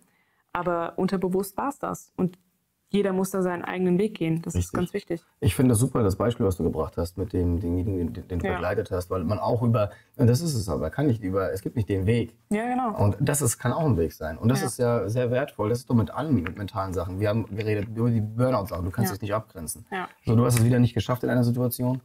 Und ähm, dann lernst du daraus. Oder du Ja. reflektierst für dich, was war es gewesen. Genau. So, Wichtig ist halt nicht aufzugeben. Immer Richtig. weiterzumachen. So. richtig. Ja. Genau. So, und das, ich finde das deswegen auch so wichtig, dass viele junge Leute wie wir, wie andere Kanäle sich dem Thema widmen, weil, wir, die gehen da auch nicht mehr so dogmatisch dran, an diese Dinge. Mhm. Ja, genau. Und deswegen habe ich auch damals. ein Hund ist hier. Ey, ein Hund ist hier, Alter. Was ist los? Ähm, ja, deswegen habe ich damals zum Beispiel ähm, viel mehr mit der Psychotherapie anfangen können, als mit diesem Selbsthilfezeug. Was gut ist, was dich auffängt, was dir vieles erklärt, was mir, in meinem Fall nicht jede Selbsthilfegruppe ist gleich, aber mit zu viel von diesem Dogma Ja. hat. Ohne die jetzt zu bashen, das ist gut, dass es die gibt. Halt. Ja, es, ist, es, es hat seine Berechtigung und es hat vor allem, glaube ich, früher viel dazu beigetragen, dass Leuten geholfen wurde und dass ähm, Alkohol und Alkoholismus aus einer Ecke rauskommt. Aber ja, ich glaube, es ist auch Zeit für, für neue Sachen. Und es gibt immer noch Leuten, denen das hilft. Und ich bin ja selbst auch noch in einer.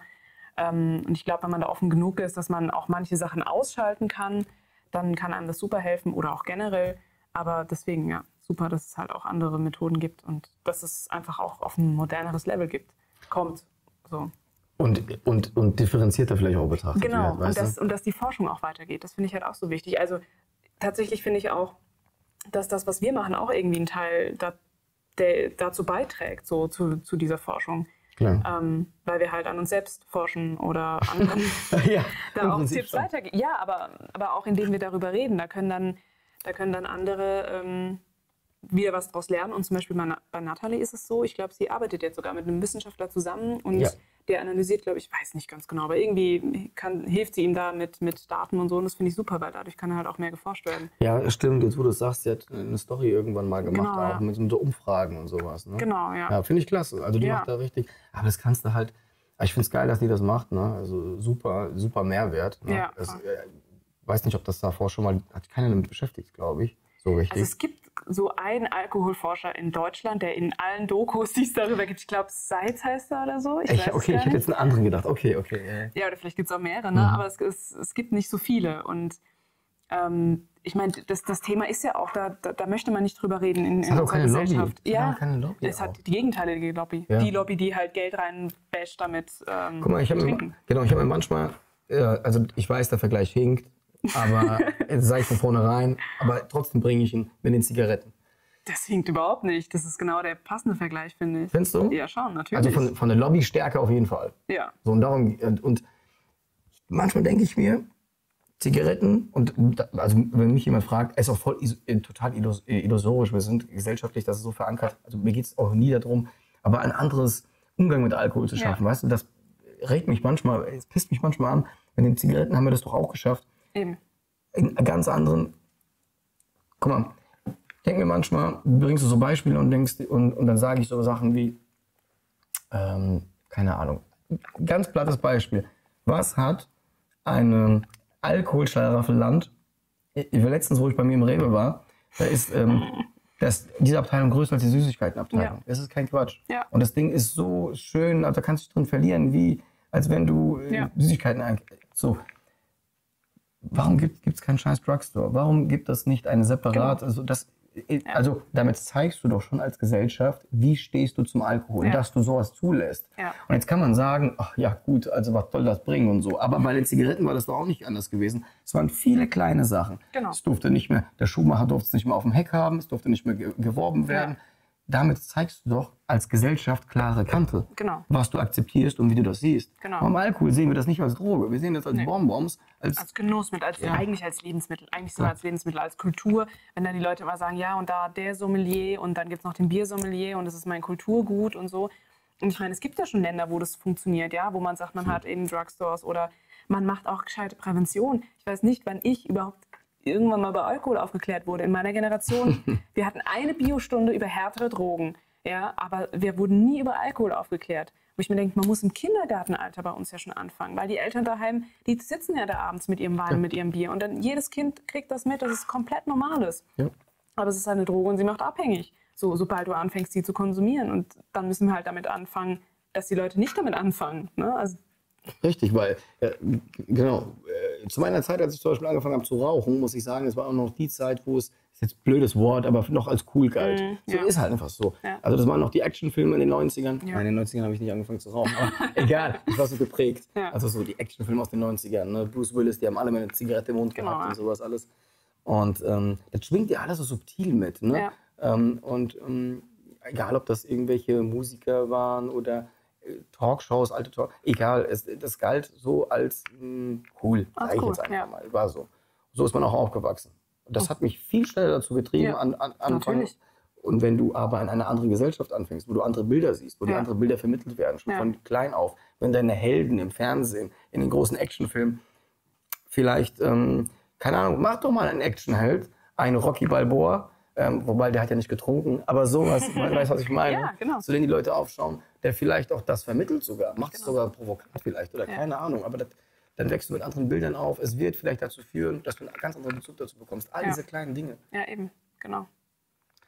Jana, ich muss leider ähm, mal kurz für kleine Flaschengeister. Deswegen muss wir eine kurze Pause Alles machen. gut. Und dann können wir gleich nochmal. Da sind wir wieder. ähm, wir haben in der Pause, das fand ich ein spannender Moment, da habe ich gesagt, ähm, lass uns das, lass uns das äh, gleich besprechen. Ähm, weil du gesagt hast, und das war bei mir auch so gewesen, dass ähm, als du deinem Umfeld gesagt hast oder als du angefangen hast mit YouTube, beziehungsweise als du gesagt hast, du fängst damit an, dann eine der ersten Sachen, was dir prophezeit wurde, äh, Hate-Kommentare, Hass und sowas. Und ähm, überraschenderweise, oder du fandest das überraschend, hast du gesagt, Ja. kam gar nicht. Also gar nicht nichts, gar nichts nicht, aber sehr wenig. Also, und ich, wenn ich jetzt so drüber nachdenke, eigentlich auch nur ein bisschen am Anfang und jetzt so gar nicht mehr. Wie ist es bei dir? Cool. Ähm, ich habe das auch, also ich habe das, ich habe die schlimmsten Befürchtungen gehabt. Also ich habe mit dem Schlimmsten gerechnet. Ähm, so wirklich, es kommt, kommt noch drauf an, was man als Hasskommentar ähm, ja, empfindet, klar. aber so richtig, dass es nur einfach vulgär beleidigt Ja. wurde, du irgendetwas. Ja. Ganz selten, auch, auch nur am Anfang, Mhm. da irgendwelche Trolls, die dann random, oder ich weiß es nicht, ich kenne die Leute ja nicht. Ja. aber ganz, ganz wenig. Und äh, dann war, ähm, wenn, und das sehe ich dabei nicht als, als Hate, sondern äh, wenn jemand vernünftig einen anderen Standpunkt hat oder die Sache anders. Das ist, Ja. Aber ähm, äh, nicht so sehr auf YouTube, aber muss ich jetzt leider sagen, sage ich immer wieder, oder habe ich schon öfter gesagt, Facebook. Ähm, Bist du da auch? ich bin, ja genau, also ich habe YouTube, Facebook und Instagram und ich muss sagen, Instagram noch überhaupt gar nicht. Mhm. Ja, ich auch nicht. sein. Aber Facebook. Weil Facebook und ähm, ja, kann, jetzt kann sich auch Leute angegriffen fühlen, aber muss ich halt so sagen, ist halt die ältere Plattform. Mhm. Ähm, steht sowieso generell, wenn du dir jetzt mal auch anguckst, was da so generell rumgeht. Ne? Mhm. ja. Also so hasstechnisch Ja. Mhm. ist es die Plattform mit dem größeren Potenzial. Und ich kenne mich da jetzt auch nicht aus, ob da mehr Trolls sind oder was weiß ich oder so, aber da ist äh, Potenzial da. So. Ja. Und ich weiß auch nicht, ob das was mit der Demografie, also mit dem Alter zu tun hat, dass da auch vielleicht Leute sind, die das auch dafür nutzen. Da habe ich das schon öfter gehabt, dass jemand was Blödes geschrieben hat. Und ich gehe aber trotzdem drauf ein und schreibe, äh, Mhm. Ja. erklär mir das mal bitte oder, oder sowas. Und dann fra- stelle ich immer eine Frage, hast du das Video gesehen? Mhm. Die Leute schreiben immer, nein, brauche ich nicht. Brauche ich mir nicht zu erklären. Also, er weiß gar nicht. Das ja. Geile war gewesen, einer schreibt, ich brauche mir nicht in einem 5-Minuten-Video von dir, jungen Kerl, das zu erklären lassen. Das Video ging 50 Minuten. Also da hörst du dann auch auf, drauf einzugehen. Mhm. Das ist dann auch absoluter Blödsinn. Aber warum glaubst du, dass so wenig auf YouTube und auf Insta, ähm, ich sag mal, Hate-Kommentare kommen? Oder warum? Weil wir haben uns ja auf mehr eingestellt und es ist ja weniger gekommen, ist natürlich super. Aber glaubst du, das hat irgendeinen bestimmten Grund? Es wird wahrscheinlich mehrere Faktoren haben, um das wirklich zu beleuchten, müsstest du dich in der Welt. Also ich, muss auch wirklich sagen, ich kenne mich in Social Instagram zum Beispiel. Ich habe Instagram erst gemacht, als, als es Flaschengeist gab. Ich kenne mich in Social Media gar nicht mhm. so gut aus. Facebook kannte ich privat schon. Und ähm, ich glaube schon, dass ein Faktor wirklich das Alter ist. Mhm. Und ich glaube auch, dass beide Plattformen unterschiedlich funktionieren. Mhm. Auf Instagram ist es ja wirklich mehr ähm, ursprünglich Fotos, also es ist eher sowieso mehr, wie soll ich das sagen, jüngeres Publikum und vielleicht auch gar nicht so viele Wortbeiträge, sondern viel mehr auf Fotos einfach. Und bei Facebook, da geht es ja teilweise wirklich auch um politische Sachen, die da gepostet mhm. werden und so. Und die Leute, glaube ich, verstehen die Seite auch mehr als, ähm, als ähm, aus, also als ähm, Austauschplattform. Austauschplattform, genau, ja. Diskussionsplattform. Mhm. Und da wird halt auch sehr viel polarisiert. Ja. Und das siehst du dann halt auch in Social Media. Ja. Und dann, wenn du schon auf so einer Plattform bist, wo Leute das kennen und mhm. diese Kultur miteinander kennen, mhm. dann werden die auch eher, wenn die auf deinen Kanal kommen, da eher mal sowas raushauen. Während es auf Instagram vielleicht mhm. nicht so ist. So ich aber, tue ich das in meinem Kopf gerade. Ja. Ich glaube aber tatsächlich auch, dass es damit zusammenhängt, dass man ähm, so persönlich über sich erzählt und das Thema. Meinst weil, du? ja, weil also diese Diskussion hatte ich im Familien- und Freundeskreis auch, wo die Leute sagen, warum erzählst du das denn so? Du machst dich angreifbar. Das stimmt. Die Leute können irgendwie, ähm, so weiß ich nicht, so du erzählst halt privateste Dinge von dir, aber ich sage immer genau deswegen, weil ich die privatesten Dinge erzähle, weil ich komplett blank ziehe, weil es nichts mehr gibt, womit die Leute mich angreifen können. Ja, die Leute können nicht mehr kommen und sagen, ich habe gehört, du hast deinen besten Freund verprügelt. Mhm. Sage ich ja, das wissen jetzt auch so und so viele tausend Leute. Ähm, ich gehe damit offen um. So, was willst du mir denn damit? Also man kann keinen Stein mehr auf mich werfen, weil ich sie alle offengelegt habe. Das stimmt. Das, ist so, das ist so ein bisschen, kennst du Schwester Ever? Nee. Nee, das ist eine deutsche Rapperin, äh, die äh, war früher Prostituierte und ist genau mit dem Thema ins mhm, Rap-Geschäft eingestiegen und hat das zum Konzept gemacht. Mhm. Und hat gesagt, womit wollte ich mich überhaupt fertig machen? Ja. Was, will, was, willst du sagen? Oh, du Nutte? Ja, sag ich doch auch. was disst du mich denn ja. gerade so? Ne? Also klar, damit ist vieles schon ja, jetzt genau. könnte man sagen, äh, also, aber das ähm, muss man dann für sich einordnen, ob man das überhaupt ernst nimmt, dass sich jemand wegen dem Inhaltlichen angreift oder sowas. Ne? Aber wie du schon sagst, damit hast du eigentlich alle Argumente gegen dich schon. Ist auch so das Eight-Mile-Prinzip. Alles, was gegen dich gesagt werden ja. kann, nimmst du sowieso, ist ja dein Konzept. Ja. Das stimmt, ja. Es ist tatsächlich auch so ein bisschen was, was bei AA praktiziert wird. Also da, mal, da hast du ja dann auch in irgendeinem Schritt, dass du quasi dich bei allen entschuldigst, bei denen du früher irgendwie, denen du was getan hast oder wo du dich schlecht verhalten hast. Und dadurch bist du dann auch irgendwann, wenn du dich bei allen entschuldigt hast und alles so irgendwie bereinigt hast, bist du dann auch quasi nicht mehr angreifbar, ne? weil du alles irgendwie. Das stimmt, das nimmt dir, glaube ich, auch viel psychische Last einfach, genau. weil man macht sich ja. auch viel Vorwürfe. Ja. Aber äh, was für ein Prinzip ist das? Von AA. AA, okay, ja. okay, okay, okay. Aber das finde ich generell jetzt, ich wusste nicht, dass das, äh, dass das denen zuzuschreiben ist, oder, aber das finde ich generell sollte man, oder kann jeder also für sich entscheiden. Ich weiß nicht, ob es denen zuzuschreiben ist, aber das gibt es halt in dem Zwölf-Schritte-Programm okay, okay, eben auch so. Ne? Nee, aber das ist, ich finde das super ja. vernünftig. Würde ich auch jedem raten. Ja. Man merkt ja auch selber, dass man Gewissensbisse hat, weil man, ähm, genau. wie mit der Prügelei und ja. hat ja jeder so seine ja. Geschichten. Ja, oder all das, was man, was man irgendwie verheimlicht hat oder mhm. worüber man gelogen hat. Also ich merke schon, dass ich das früher ähm, dass mich das sehr belastet hat, dass es da Sachen gab, die ich eben nicht, die ich einfach nicht offen gesagt habe oder wo ich nicht offen mit umgegangen bin. Und ähm, da bin ich sehr froh, dass es diese Last jetzt einfach nicht mehr gibt. Also das hat bei mir schon enorm viel weggenommen. Und das, was du sagst, was ganz interessant ist, ich weiß nicht, ob du das bestätigst, als ich das getan habe, ähm, habe ich festgestellt, dass die Last in deinem Kopf größer ja. ist als das, was da, was, wie es der andere ja, sieht. Voll. Die allermeisten Menschen haben gesagt, ach was, Quatsch, das haben die gar nicht mehr so schlimm in Erinnerung oder, oder schon vergessen oder schon längst verziehen oder sowas. Ja, Aber genau. du für dich. Genau, ja. Das ist so wichtig. Ja. Also das ich, kann ich absolut bestätigen. Und deswegen würde ich das dem, würde ich das auch jedem raten, ja. ähm, äh, das zu tun. So. Auch übrigens auch ein Thema, finde ich, bei Depression mhm. wichtig. So, gibt ja auch so dieses, äh, äh, hat mal jemand ähm, gesagt in so einem Fünf-Punkte-Plan, ich weiß nicht, wer das war, ähm, wenn du das merkst, dass du auch ähm, vielleicht streitst, ist auch sinnlose Sachen oder Leute, bei denen du dich immer melden wolltest, nimm das Telefon in die Hand. Ruf die Leute einfach an. Ja. Sag denen Danke, dass es dich gibt oder Ja. ich wollte dir nur mal sagen Danke oder, oder es tut mir leid, letzte Woche. So. Ja. Das ist, so, hilft so viel. Ja, voll. Auch, äh, kann man auf, auf alles, auf alles ähm, übertragen. Würdest du sagen, dass du dir selbst verziehen hast? Ja, es gab, ähm, ähm, also insgesamt ja, es gab ähm, einen Punkt, das war in meiner damaligen Beziehung, ähm, weil das, da habe ich mir schwere Vorwürfe einfach gemacht. Und auch in Situationen, wo, wo man gar nicht mehr man selbst war. Ne? Man, man, der andere versucht, aus der Verzweiflung einen wegzuhalten. Ich kann mich an Situationen erinnern, vorm Kühlschrank, du nimmst jetzt nichts und man Mhm. drückt den anderen weg und sowas und ähm, Lügen und so. Das hat mir lang zu schaffen gemacht. Das, das, da brauchte ich auch quasi die aktive, ähm, ist das in Ordnung? Mhm. Äh, dieses, ich habe dir verziehen, so. Das ist, ist schwierig. Ähm, viele, und da differenziere ich, verstehen nicht den Unterschied zwischen sich entschuldigen und um Verzeihung bitten. Es gibt Situationen, da kannst du nur um Verzeihung bitten. Ähm, es liegt aber nicht in deiner Hand. Ja. Und äh, das war ein Punkt gewesen, da bin ich auch sehr froh und da mh, konnte ich den Frieden auch mit mir machen. Aber kennst du das, dass also man fühlt sich dann auch, also ich habe dann auch irgendwie mich so ein bisschen verpflichtet dazu gefühlt, nenn es wie du, wie du das möchtest, ob das die Vernunft ist, ob das Karma ist, ob das ähm, dein Seelenfrieden ist, was zurückzugeben, auch so in deinem Umfeld vielleicht. Ich weiß nicht, spielt das vielleicht auch eine Rolle, dieser Punkt, in, äh, wenn dich jemand um Hilfe fragt? Weil du vielleicht äh, in, in Situationen früher unzuverlässig warst oder anders reagiert hast oder sowas. Mm. Also unzuverlässig war ich, glaube ich, tatsächlich nie. Klar habe ich anders reagiert unter Alkoholeinfluss, als jetzt ich das sollte. Aber ich glaube nicht, nee, ich würde nicht sagen, dass es damit reinspielt. Ähm, Nee. Okay. Ähm, Cut.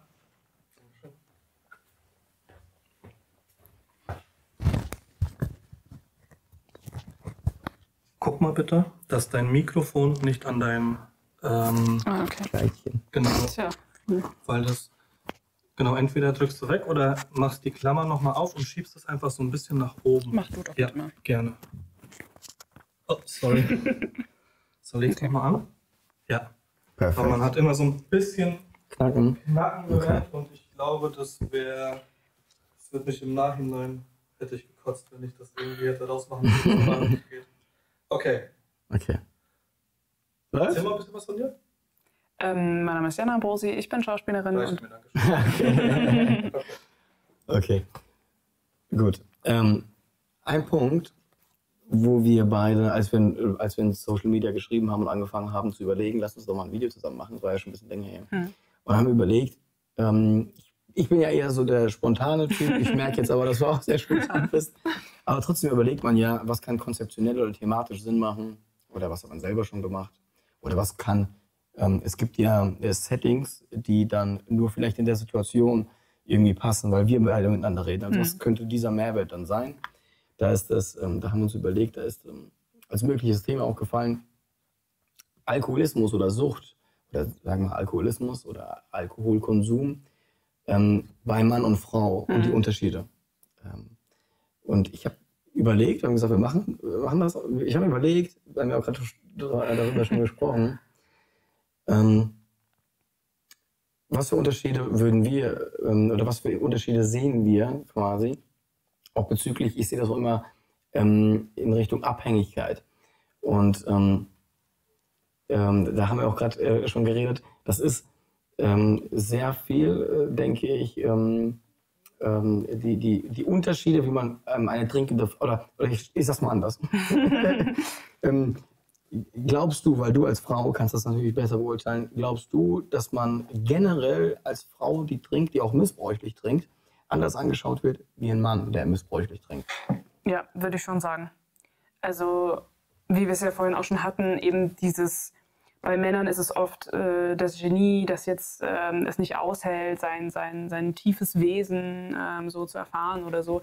Oder auch der Künstler, der dann da einfach ja, trinken muss, um kreativ zu sein oder was auch immer. Ähm, und bei Frauen ist es, ist es einfach mehr, sie, sie, ähm, dass sie ihre Pflicht nicht erfüllen. Mhm. Ja, also ob es jetzt ihre Pflicht einem Kind gegenüber ist oder die Pflicht der Familie gegenüber oder selbst die Pflicht der Gesellschaft gegenüber, wenn sie jetzt keine Familie hätten oder so, dass sie das nicht erfüllen.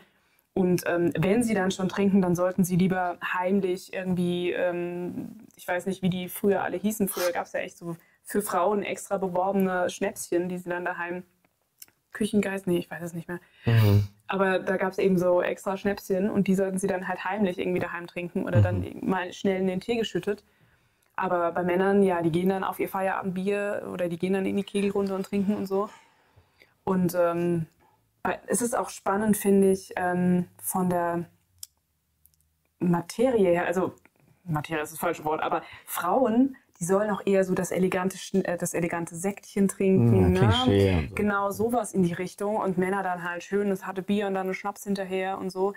Also das finde ich auch spannend, dass da auch so ein Unterschied bei denen gemacht wird. Ja, äh, äh, weil du es gerade sagst, ähm, hast du ähm, hast du irgendwann, also oder was hast du denn getrunken? Ich habe gen- hauptsächlich Bier getrunken, Okay. auch mal Wein. Ähm, in der frühen Jugend auch sowas, so Mischgetränke, Wodka, O etc. Aber dann später eigentlich nur noch Bier oder Wein. Hast du schon mal erlebt, dass sich irgendjemand, äh, dass irgendjemand dir gegenüber als Frau gesagt hat, ähm, ich kannte das tatsächlich, ich habe Frauen kennengelernt, die haben gesagt, sie finden das asozial, wenn eine Frau Bier Ja. trinkt. Kennst du das? Ja, ich habe das aber auch tatsächlich extra, weil ich hatte so diese Phase, ich wollte cool und angenommen sein und dann, ja, weiß nicht, dann ziehst du da die, die Rocker-Sachen an und, und äh, dann rauchst du irgendwie und ähm, dann trinkst du halt auch Bier, weil Bier ist ja männlicher, ja, Mhm. und wenn du cool bist, dann kannst du da deine drei, vier, fünf, sechs Bier trinken und dann trinkst du die Typen unter den Tisch und ja, Sekt schmeckt mir nicht, das ist mir zu süß und bla bla bla. Also ich habe das schon auch absichtlich gemacht, Ah, tatsächlich. okay. Also du hast das Klischee genutzt, um dich Um's in, um, genau, genau. um dein Bild klar, um, also um, also um ähm, ein Bild von dir zu zeigen, Ja. dass du das nicht bist, sondern Genau. Ja, das ist ganz interessant. Ähm, ich kann das natürlich als Mann, deswegen habe ich, dir aufmerksam zugehört. Nicht, also ich kenne das Prinzip, Ja. oder, aber ich kann das natürlich nicht beurteilen, wie sich das anfühlt oder ob man tatsächlich so oft da mit konfrontiert wird mit diesem Klischee. Und übrigens habe ich den Eindruck, bitte korrigiere mich, dass dieses Klischee, diese Konfrontation auch eher von Frauen an Frauen und gar nicht so von Männern kommt, oder? Würdest du das nicht bestätigen? Mm, Dieses, eine Frau trinkt doch kein Bier. Ja, weil Männer finden das dann cool, wenn eine Frau Bier trinkt. Ne? Also So das ich ist dann, auch. genau, ja, ja, das ist schon eher, eher von den Frauen her. ist ähm, schwierig. Aber du hast einen guten Punkt gesagt. Das ist, ähm, sehe ich absolut genauso. Ähm, es ist wie vorhin, wo wir das Gesellschaftliche hatten. Mhm. Das finde ich da genauso. Du hast halt jedes Genie, Musiker, alles, was wir hatten. Ich Genau. hab, vorhin habe ich Vincent van Gogh gesagt in der Pause. Da habe ich letztens eine Doku gesehen über dem, wo ähm, auch massives Alkoholproblem, aber das wird, ist, das hat halt immer, es wird natürlich nicht pathologisch Mhm. oder so aufgearbeitet, sondern wir verbinden diese Genies, das ist so denen ihr Elixier gewesen. Ja, genau. Es gibt auch Leute, die heute noch äh, wirklich so argumentieren. Ja, die sagen, ja, der, der und der hat auch auf Alkohol und sowas. Ja. Ne? Der hat trotz Alkohol das alles erschaffen. Richtig, Das ist der Punkt. Und selbst wenn du, und du kannst ja nie den Vergleich bringen, wenn in dieser Moment Ja. nüchtern gewesen wäre, Ja, ob er anders gewesen nicht. wäre. Ja. Vielleicht hätte es ihm zehnmal mehr gegeben, wenn er nicht Ja. getrunken hätte. Ja. Weiß man nicht. Ne? Ist schwierig, ja. Aber würdest du auch sagen, dass, ähm, dass es in, in der Nüchternheit eine, eine andere Wahrnehmung der Gesellschaft gibt? Ein, ein Mann, der jetzt nüchtern geworden ist und eine Frau, die nüchtern geworden ist? Ich weiß, was du meinst. Also quasi, du schaust auf einen, ähm, auf einen, einen, einen süchtigen Menschen oder auf einen trockenen äh, Menschen, dann kann ich wirklich schwer beantworten, muss ich sagen. Ähm, auch da glaube ich, dass der Mann eher in dieses Stereotypenbild fällt, ne? irgendwie. Und ähm, man auch äh, Alkoholiker, also man, man, wenn man, man stellt sich auch mehr so eine Männerrunde vor. Und Ja. auch in Selbsthilfegruppen stellt man sich das Ja. eher so vor. Ne?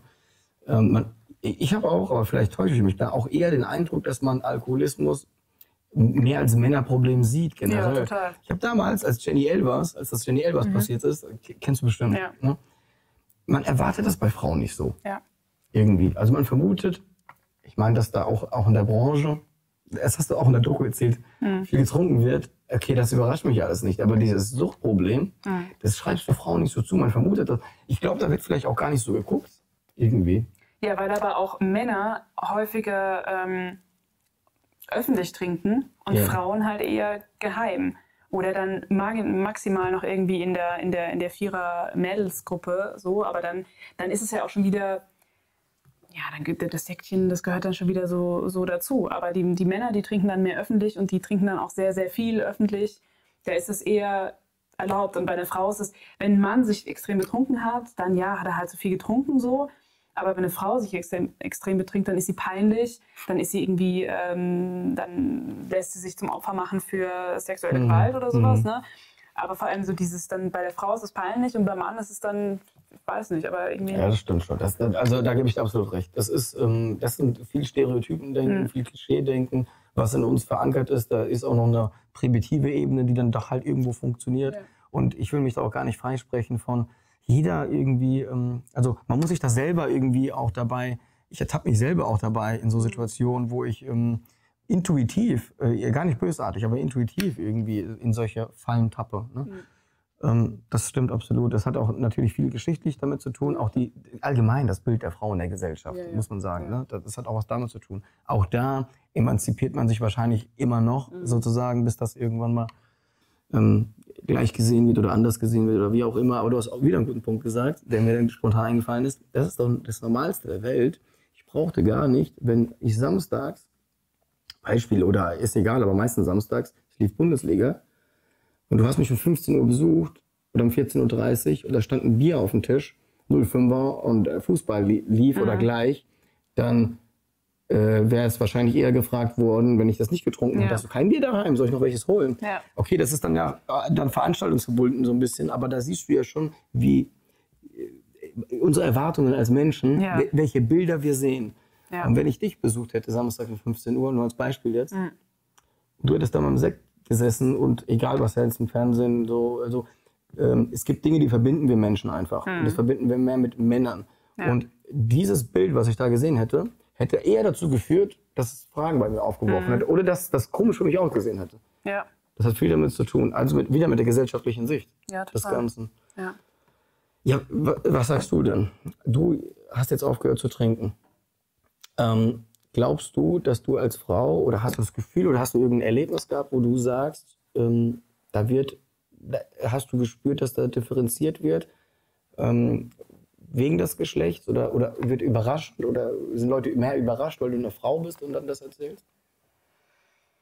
Mm. Also ich glaube, ich selber habe die Erfahrung jetzt nicht so stark gemacht, aber ich habe das im, sag ich mal, Sobriety-Umfeld schon auch viel mitbekommen. Und ich meine, bei mir ist halt generell das Problem, dass die Leute, ähm, dass mein Umfeld das überhaupt nicht auf dem Schirm hatte oder überhaupt nicht ähm, also die waren alle komplett überrascht, dass, dass ich meinen Umgang mit Alkohol problematisch empfunden habe, auch weil dieser Umgang ja in meinem Umfeld der normale Umgang war. So. Ähm, und von daher, ja, würde ich nicht sagen, dass das. Ähm, ich habe komplett den Faden verloren. Du meinst, das war kein Geschlechterding gewesen, ja, sozusagen. Nee. Das, du hast nie das Gefühl gehabt, dass du nur aufgrund deines Geschlechts jetzt. Nee. Äh, also, also, dass das äh, überraschender war, weil du eine Frau bist. Unterschwellig, unterschwellig habe ich schon das Gefühl, dass das öfter mal da okay. mit rein. Aber ich kann natürlich auch schlecht vergleichen, weil ich habe jetzt nicht meinen Bruder, der ebenfalls irgendwie ja, aufgehört ja, hat ja, und so. Ne? Ja, es ist halt schwierig, weil es rein hypothetisch ja, genau. ist das Ganze. Ne? Ja. Äh, rein hypothetisch, das stimmt, ja. Aber es wäre auf jeden Fall irgendwie mal spannend, falls es da irgendwie mal Studien oder sowas dazu gibt. da sind wir wieder beim Thema. Ja. Ähm, wer hat Interesse daran oder kein Interesse daran? Nein, genau. das ist, das ist, aber wir werden da bestimmt, ich glaube, wir als Gesellschaft, ähm, wir sind eine Generation, die nächste Generation wird noch mal aufgeräumter. Ja. Ähm, mit, ich muss gerade denken, du magst ja Social Media, gewisse Sachen nicht. Aber ich, ich sag mal, es ist ja ein Werkzeug. Ja. Also das kommt ja darauf an. Es gibt immer so eine blöde Metapher. Ein Werkzeug. So mit meinem Versicherungskaufmann, ich halte gar nichts davon, aber mal gesagt, es ist wie ein Messer. Du kannst mit einem Brot schmieren, du kannst mit einem erstechen. Das ist jetzt voll platt gesprochen, mhm. aber es ist ja auch ein Werkzeug. Und ähm, auch das wird ja viel benutzt, damit die Leute äh, hinterfragen viel mehr. Ähm, ja können sich selber austauschen und sowas. Auch bei diesen Themen. Und die nächsten Generationen, die aufwachsen, die werden viel aufgeräumter mit diesen Themen sein. Ja. Bin ich äh, absolut sicher. Denke ich auch. Und das ist wieder da jetzt auch Vorarbeit und jede Generation für sich ja. diese Arbeit leistet, finde ich unheimlich wichtig. Und ich finde, wir sind auch schon wesentlich weiter als jetzt die Generation unserer Eltern oder Großeltern, was Alkoholkonsum, also Gut, ich lebe jetzt auch in, in so einer Sobriety-Bubble, aber ähm, ich denke, wir sind da auf jeden Fall auf einem guten Weg. Hin. Also, ja, ich kann das auch. Also, guck mal, ich komme ja aus, äh, das wissen auch die Leute, ich bin in Polen geboren und so. Und da ist ja, es wird ja in Ostländern nachgesagt mhm. mit dem Olka. Brauche ich ja nichts zu erklären, mhm. weiß ja jeder. und ähm, da, da, da, da scheitert es schon daran, ähm, dass Leute sagen, was? Äh, Drogen? Nein ich trinke Alkohol. Mhm. Ja, Drogen, er nimmt Drogen, aber ich mache jetzt diesen Akzent auch noch so nach. Also an den Basics ja. scheitert das schon. Oder äh, redest du mit den Leuten gar nicht drüber, weil ähm, du musst da wirklich bei Adam und Eva anfangen ja. und kommst nicht viel weiter als Adam und Eva. Obwohl wir auch nicht so viel weiter sind. Bei uns sagen sie auch, also sie nehmen keine Drogen, aber sie trinken Alkohol. Also das stimmt, aber da sehe ich wenigstens noch das Potenzial, wenn man äh, jemanden trifft, der vielleicht ein bisschen ja. bereit ist dazu, da könntest du vielleicht noch eine andere Sicht Ne? Ja. Ne? Das machen wir ja auch, ne? Ja. Und dass Leute dann auch wirklich sagen, hey, stimmt, wo du jetzt hast eigentlich recht, das ist eigentlich kein großer, großer Unterschied, aber es gibt Leute, die sind so geprägt, da erreichst du auch nichts mehr, leider, ja. muss man sagen, ne?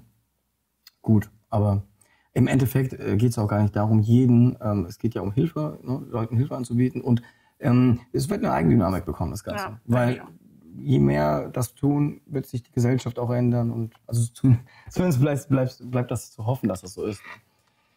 Okay, jetzt überlege ich gerade, wir haben nämlich noch, noch gesprochen, das ist immer so, wenn man in Pausen spricht, ne, da geht der eine auf Toilette, der andere ist eine Banane, wir haben beide eine Banane gegessen. Und dann ähm, hat man dann so viele äh, Sachen, wo man dann kurz irgendwie. Äh, hm, da wollen wir noch drüber sprechen, ja, genau. genau. Deswegen überlege ich gerade, äh, das war das Männer- und das Frauending mhm. gewesen. Ähm, das war das eine gewesen. Äh, Social Media. Ähm, Mit den Hate-Kommentaren, genau. Genau, genau. Ich, ich überlege gerade. Hm. Deine Geschichte sind wir auch schon so ein bisschen durchgegangen, die Punkte, die mich sehr interessiert haben. Mhm. Burnout hat mich sehr interessiert. Ähm, das war ein wichtiger Punkt gewesen. Ähm, ach so, genau. Jetzt habe ich Social Media. Genau, das war nämlich ein Punkt. Ähm, das eine war jetzt ja Hate-Kommentare, haben mhm. wir gesprochen. So. Ähm, als dein Umfeld deinen Kanal gesehen hat, gefunden mhm. hat, sich das angeschaut hat, Familie, Umfeld, Freunde, wie auch immer. Wie haben die reagiert? Und ähm, hat es bei denen irgendwas bewirkt vielleicht sogar? Also reagiert haben sie meistens sehr, sehr überrascht, weil ich aufgehört habe, aber jetzt nicht so exzessiv darüber gesprochen habe, warum ich aufhöre, sondern das eigentlich tatsächlich erst so durch den Podcast und den Channel wirklich rauskam bei den meisten. Ähm, und mein Umfeld da eben das nicht auf dem, Sch also ja, wie vorhin schon erwähnt, einfach nicht auf dem Schirm hat und nicht gedacht hat, dass ich das problematisch empfinde, meinen Konsum. Oder wie es mir generell ging. Also ich bin ein Mensch, der nicht so viel über sich redet. Ähm, das muss ich erst noch lernen. Und da haben die das, wussten die das nicht so. Ähm, und verändert.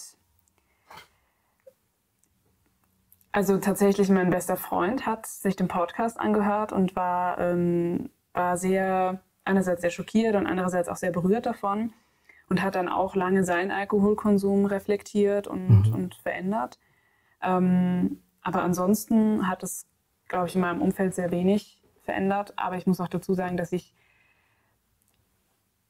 versuche da nicht so exzessiv darüber zu reden, außer man, man, man spricht das Thema von sich aus an, ähm, weil ich weiß, wie diffizil das ist. und verstehe, das, ja. Ähm, ja, Menschen, vor allem bei Alkohol, als auch bei ein, zwei anderen Themen, da ja, sich schwer tun, ähm, da offen irgendwie drüber zu reden, ohne das gleich als Angriff zu sehen. Und deswegen.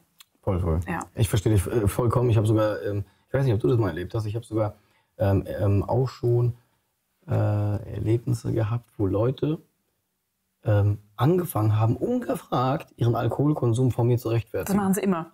Echt? Immer wenn ich sage, dass ich äh, entweder meinen Channel habe oder keinen Alkohol trinke, ich habe noch nie jemanden gefragt, wie viel er selbst trinkt. Noch nie. Ja. Und jedes Mal sagen die mir genau, wie viel sie trinken, wann sie trinken, in welchen Situationen und ja nur den besten Wein. Und das, das, ist, das, das ist wirklich ich, verrückt. Ey, ähm, ich, hab, ich kann mich erinnern, äh, das ist schon ein bisschen länger her, äh, da gab es meinen Channel noch nicht, aber habe ich schon, äh, also ich trinke nicht und sowas halt alles. Und dann sind wir ähm, Fußball, ich bin äh, Auswärtsfahrt, wir sind da glaube ich nach, ist ja egal, ähm, auswärts zum Fußball gefahren. Mhm. So, ich war Fahrer gewesen und äh, die Jungs, und, und, das ist auch eine coole Truppe, die mag ich ja auch. Ähm, mhm.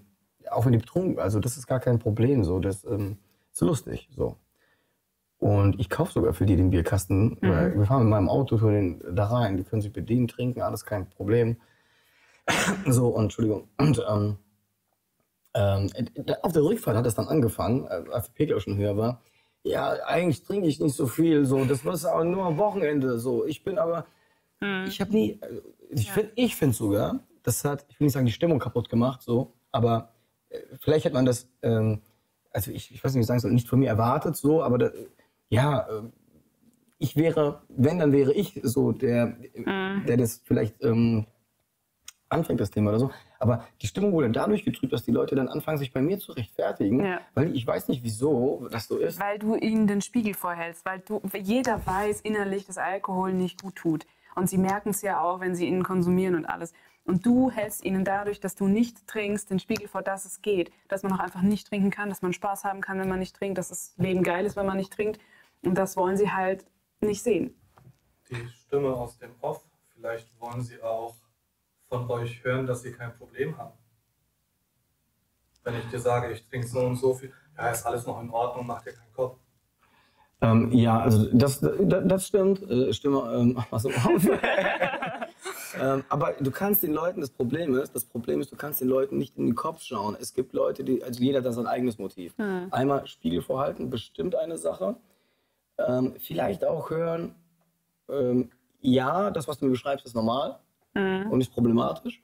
Äh, also Legitimation oder ähm, vielleicht auch insgeheim hoffen, dass du sagst, ey, das, was du trinkst, da habe ich viel mehr getrunken, Ja, du genau. brauchst dir keine Sorgen zu machen. Genau. Vielleicht ist es auch das, ich weiß es nicht. Du kannst die Leute ja nicht, Ja. man weiß es nicht. Also es ist, es ist schwierig, ja. Ähm, aber darauf gekommen sind wir, Social Media, also YouTube-Kanal, Mhm. Umfeld und so. Aber ich kenne das auch, was du sagst, mit dem, ich versuche privat überhaupt nicht dieses Mhm. Thema, ich spreche das von mir aus nicht an. Ich will es keinem aufdrängen. Ich will auch überhaupt nicht, das ist so meine Angst von mir, als der bessere, äh, nüchterne, ähm, mit äh, dem Ja, ja, Moralapostel, will ich Ja. nicht so. Also ich sehe mich da als Anlaufstelle für Leute, die auch privat ähm, mit mir darüber quatschen wollen. Sehr Ja. gerne. Aber ich dränge mich da nicht auf. Ja. Aber wie ist das denn bei dir eigentlich mit, wenn Leute in deinem Umfeld Alkohol trinken? Wie gehst du damit um? Und ähm, so? Äh, ja, ich weiß, verstehe. Es, ist, es hängt wirklich, ähm, also generell, äh, das ähm, missinterpretieren viele. Das wirst du bestimmt bestätigen. Geht es gar nicht um den Betrunken. Also es geht nicht darum, um die Tatsache, dass ich die Alkoholflasche sehe und das konsumiert wird. Das stört mich nicht. Es triggert auch nichts in mir. Es ist auch nicht, es ist keine Situation, die ich verwerflich werte. Es ist der Mensch, der gerade vor mir sitzt und wie er dann wird. Ja. Und es gibt Menschen, ähm, und, und so, also ich, ich, ich das sage ich auch in einem Video so, ich beurteile betrunkene Menschen.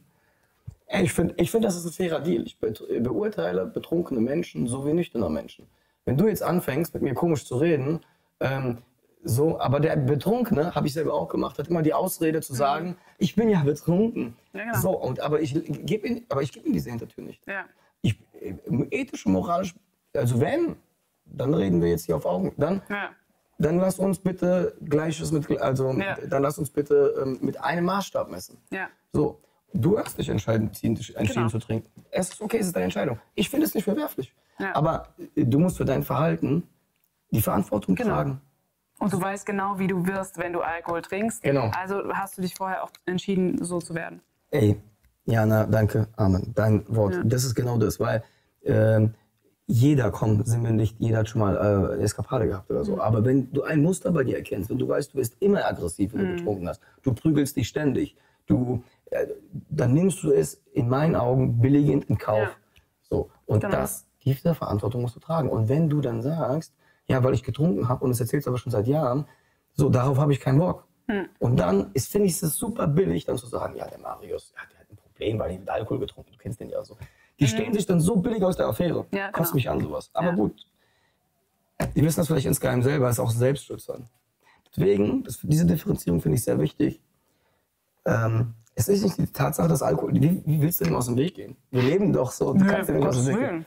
Und dann, aber es ist, es ist die, es ist die äh, Differenzierung, wie wird der Mensch. Und so beurteile Ja. ich das auch. Und das kann ganz unterschiedlich ausfallen. Ja. Wie ist es denn bei dir? Also ich meine, du bist noch mit, äh, also Ja, ja, erlebst betrunken, bist auf Feiern Ja, unterwegs.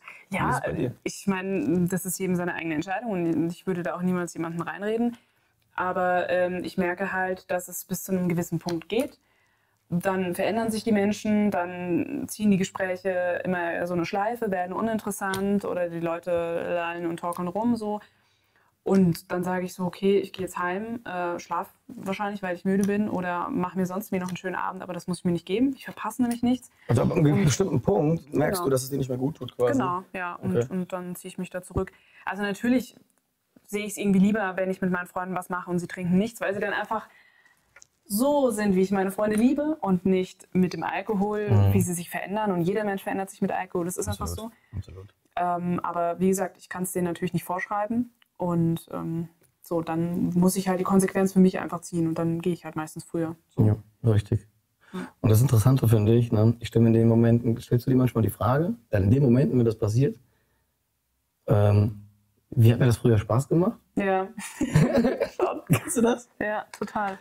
Aber gut, ich meine, früher war man ja dann auch betrunken. Ne? Ja, also dann ist es klar. was anderes. Die Antwort liegt schon auf der Hand irgendwie, aber du siehst es dann ja mal nüchtern von außen. Ja. Du, also du siehst deine Vergangenheit in dem Moment nüchtern von außen. Ja. Und das Genau. zeigt dir halt auch so ein bisschen. Das zeigt mir, also ich habe dann aber auch mal so ganz starkes Mitleid mit mir, weil ich mir denke, wie krass habe ich mich früher selbst gehasst, dass ich das auf mich genommen habe, dass ich dieses ganze Leid, was Alkohol hervorruft, egal ob während des Konsums oder danach, so, dass ich das auf mich genommen habe. Für was? Für vermeintlich mehr Spaß, der aber gar nicht mehr Spaß war. So, ich habe viel lustigere Abende jetzt, wo ich nüchtern bin, viel tiefsinnigere Gespräche und sonstige Sachen. Also das ist Genau, und, man, und, und, und wahrscheinlich, also mir geht es so, weil du es gerade sagst, weißt, weißt du auch das ähm, viel mehr zu schätzen jetzt. ja total. Also diese Ja. auch Gespräche, die wir jetzt führen oder Ja, sowas. Oder, voll. ne? Ja. Ich wette, ist der These, kannst mal gucken, ob du die bestätigst. Aber so wie ich dich jetzt kennengelernt habe, auch mit Burnout und was du alles erzählt hast, ähm, ich schätze dich so ein, du bist ein Mensch, du brauchst auch viel Input. Mhm. Also auch ähm, in der sozialen Interaktion. Ja. Wenn, also bei mir ist das so, ich mich streng, ähm, sag mal, ist ob das bei dir so ist, also soziale Interaktion, wir treffen uns jetzt, wir, wir unterhalten uns jetzt hier zwei Stunden und alles bleibt seicht. Mhm. Verstehst du? Also es wird von, vom Wetter, über die Daily Soap von gestern, über den neuen Schuh von Nike, über ähm, was weiß ich, dass die Bayern 5-0 verloren haben. Und, aber alles bleibt seicht. Zu jeder Zeit. Das strengt mich an einem gewissen Punkt an. Total. Kennst du das? Ja, ich kann das überhaupt nicht abhaben. Also ich hasse Smalltalk auch einfach. Das, ist einfach so. das, das stresst zwar Leute, wenn sie mich kennenlernen, weil ich halt immer gleich schon voll in die Diepen gehe. Aber es ist halt, es interessiert mich halt einfach nicht so. Dieser Smalltalk ist so. Das, du bist aber auch so veranlagt, äh, dich in ein Thema reinzunörden. Ja? Das ist krass. Ich habe das bei Musik zum Beispiel so, so. äh, letztens auch, also ja, da gibt so Sachen da. Aber je deep, also je tiefer du in so einem Thema drin bist und mit, mit weniger Leuten kannst du darüber Ja, ja. sprechen. Und ich habe dann auch immer so, wenn ich darüber spreche, das oft das Gefühl, ey, die interessiert doch wahrscheinlich gar keiner, versteht die keiner oder so. Das ist schwierig dann. Ja. Aber wenn du so Menschen hast, ey, also mein Bruder ist zum Beispiel so jemand, äh, das weiß dann richtig zu schätzen. Ne? Mhm. Und das aber nach dem Alkohol habe ich viel mehr zu schätzen gewusst. Ja. Diese Abende, so wie oft habe ich, äh, am Junggesellenabschied war das gewesen, da habe ich mit meinem Bruder bis um 3 Uhr nachts auf dem Balkon gehockt und wir haben nur so geredet, Mhm. stundenlang. Und Ja. wir hätten noch weiterreden können. Ja, voll. Und das ist eine ganz andere Qualität, als wenn wir jetzt getrunken Total. hätten und die ganze Zeit äh, totgelacht hätten über Ja. so seichte Kacke. Oder in Selbstmitleid zerflossen und sein Leben wieder diese Ja. ganzen pessimistischen Sachen reflektieren und so. Das war bei mir auch immer ganz häufig. Ja, also das finde ich auch interessant. Warst du ein Mensch, du, hattest du ein Rauschmuster? Also im Sinne von, ähm, dass du immer, dass Mhm. Ja. du wusstest, Ja, ja. äh, okay, okay, Ja, also ähm, ich wurde, also so der erste Schluck war dann diese Entspannung und dann wurde ich, dann wurde ich offener. Dann mit jedem mehr, was ich getrunken habe, wurde ich immer mehr im Mittelpunkt der Party. Dann kam der Moment, wo ich horny wurde. Da habe ich dann meistens versucht, mir irgendeinen aufzureißen, bis ich mir aber die Typen aufgerissen habe, weil die wollten ja dann immer ewig reden und einem was ausgeben und so. Da war ich dann schon lange nicht mehr in der, in der Horny-Situation. Ach, das ging vorbei, ne? Genau, das ging meistens schon, äh, also weil die einfach, die haben so ewig gebraucht. also, man konnte ja weniger sagen, wie sieht's aus, ist Lust, sondern du musstest ewig reden und so und ich wollte ja nicht die kennenlernen oder so und ich wollte Mhm. einfach nur, aber Es gab aber Frauen, die haben es direkt gesagt. Also habe ich auch kennengelernt. ich, Ich habe so oft probiert, ich habe so oft Gespräche mit Männern, wo ich sage, ich habe das so oft probiert und alle sagen, ja, wenn du bei mir gewesen wärst, dann. Aber Hast du das auch mal direkt gesagt? ja. Ja, ich und hab dann das, echt? Nee. Okay. Das war, ist, ich weiß nicht, ich habe anscheinend, vielleicht ist es mein Männertyp oder so, ich habe keine Ahnung. Okay. Aber jedenfalls, ähm, dann war ich auch nicht mehr horny und dann kam so diese melancholisch-depressive Phase, Mhm, wo ich mhm. dann auch eher so Deep Talk mit denen führen wollte oder so oder mich halt dann in irgendwelchen, ja, in, in Melancholie eigentlich ergangen bin und Selbstmitleid und so. Okay, okay, verstehe. Ja, ja, ist aber interessant, interessant, das mal so zu hören. Wie ich bei viel, dir? viele Parallelen, genau, wollte ich Ja? gerade sagen, viele Parallelen auch zum Thema, ey, zum Thema Horny. Ganz kurz, muss ich mal, ich habe ja gestern, habe ich dir erzählt, diese True Doku über dich Ja. gesehen. So, Das kommt jetzt. Ich hab, guck mal, ähm, also das kennt ja jeder, weil du sagst da so einen geilen Satz, ey, ich habe da mit Typen was gehabt, ähm, äh, mit denen haben mir gar nicht gefallen. Mhm. Und das kennt ja jeder vielleicht auch, dass man sich mal jemand angelacht hat und dann äh, denkt man dann nüchtern so, Ja. ah, nee, doch nicht und so. Es klingt so ekelhaft, aber es ist ja so, sagen Ja, es ist einfach halt so. so einfach so. ja. ähm, ich hatte tatsächlich mal einem Arbeitskollegen erzählt, äh, 2000, ich habe hab damals noch aktiv Fußball gespielt, okay? Mhm. 2006, wir sind mit der Mannschaft, mit der Fußballern, sind wir, äh, es ist immer am Saisonende Abschlussfahrt, okay? Mhm. Wir hatten nicht viel Geld, an diesem Jahr sind wir nach Lorette Mar, weiß ich noch. Gott. Doppeldeckerbus, Mhm. unten, wir als Fußballer, oben Handballerin. Wir dachten, Jackpot. Ich bin übrigens Handballerin. Ehrlich? Aber 2006 warst du nicht in diesem Bus gewesen, oder? Scheiße. Ey, wir, haben, wir haben gesagt, Jackpot, Alkohol, die sind oben, wir sind unten. Erstmal Anfang der Fahrt, ruhig, ruhig, ein bisschen Musik, die oben auch, einmal Hallo, Hallo, Hallo. so, und dann irgendwann natürlich alle betrunken gewesen Ja. im Bus, hat sich alles getauscht, wie hoch die Runde. So, okay. Irgendwann, ich war total betrunken gewesen. Irgendwann sitzt so eine Handballerin neben mir und ähm, wir haben da rumgeknutscht und sowas. Ne? Und die war aber auch äh, betrunken gewesen. Und dann sind wir so eingepennt. Ne? Du fährst ja, was weiß ich, ich weiß gar nicht, zwölf Stunden nach Lorette Mar. Oh, Oder okay. als ziemlich lang. Mhm. So, wir pennen da so und es klingt jetzt so, so, so ekelhaft. Ich meine das aber jetzt nicht böse. Und dann wach ich so auf und du bist in diesen Bus gefahren. Und dachte ich, und dachte ich, ey, scheiße. Scheiße. Du sahst doch vor zwei Stunden noch anders aus. Oh Gott. Und dann kannst du die, willst du dich da rausquetschen aus Ja. der Situation?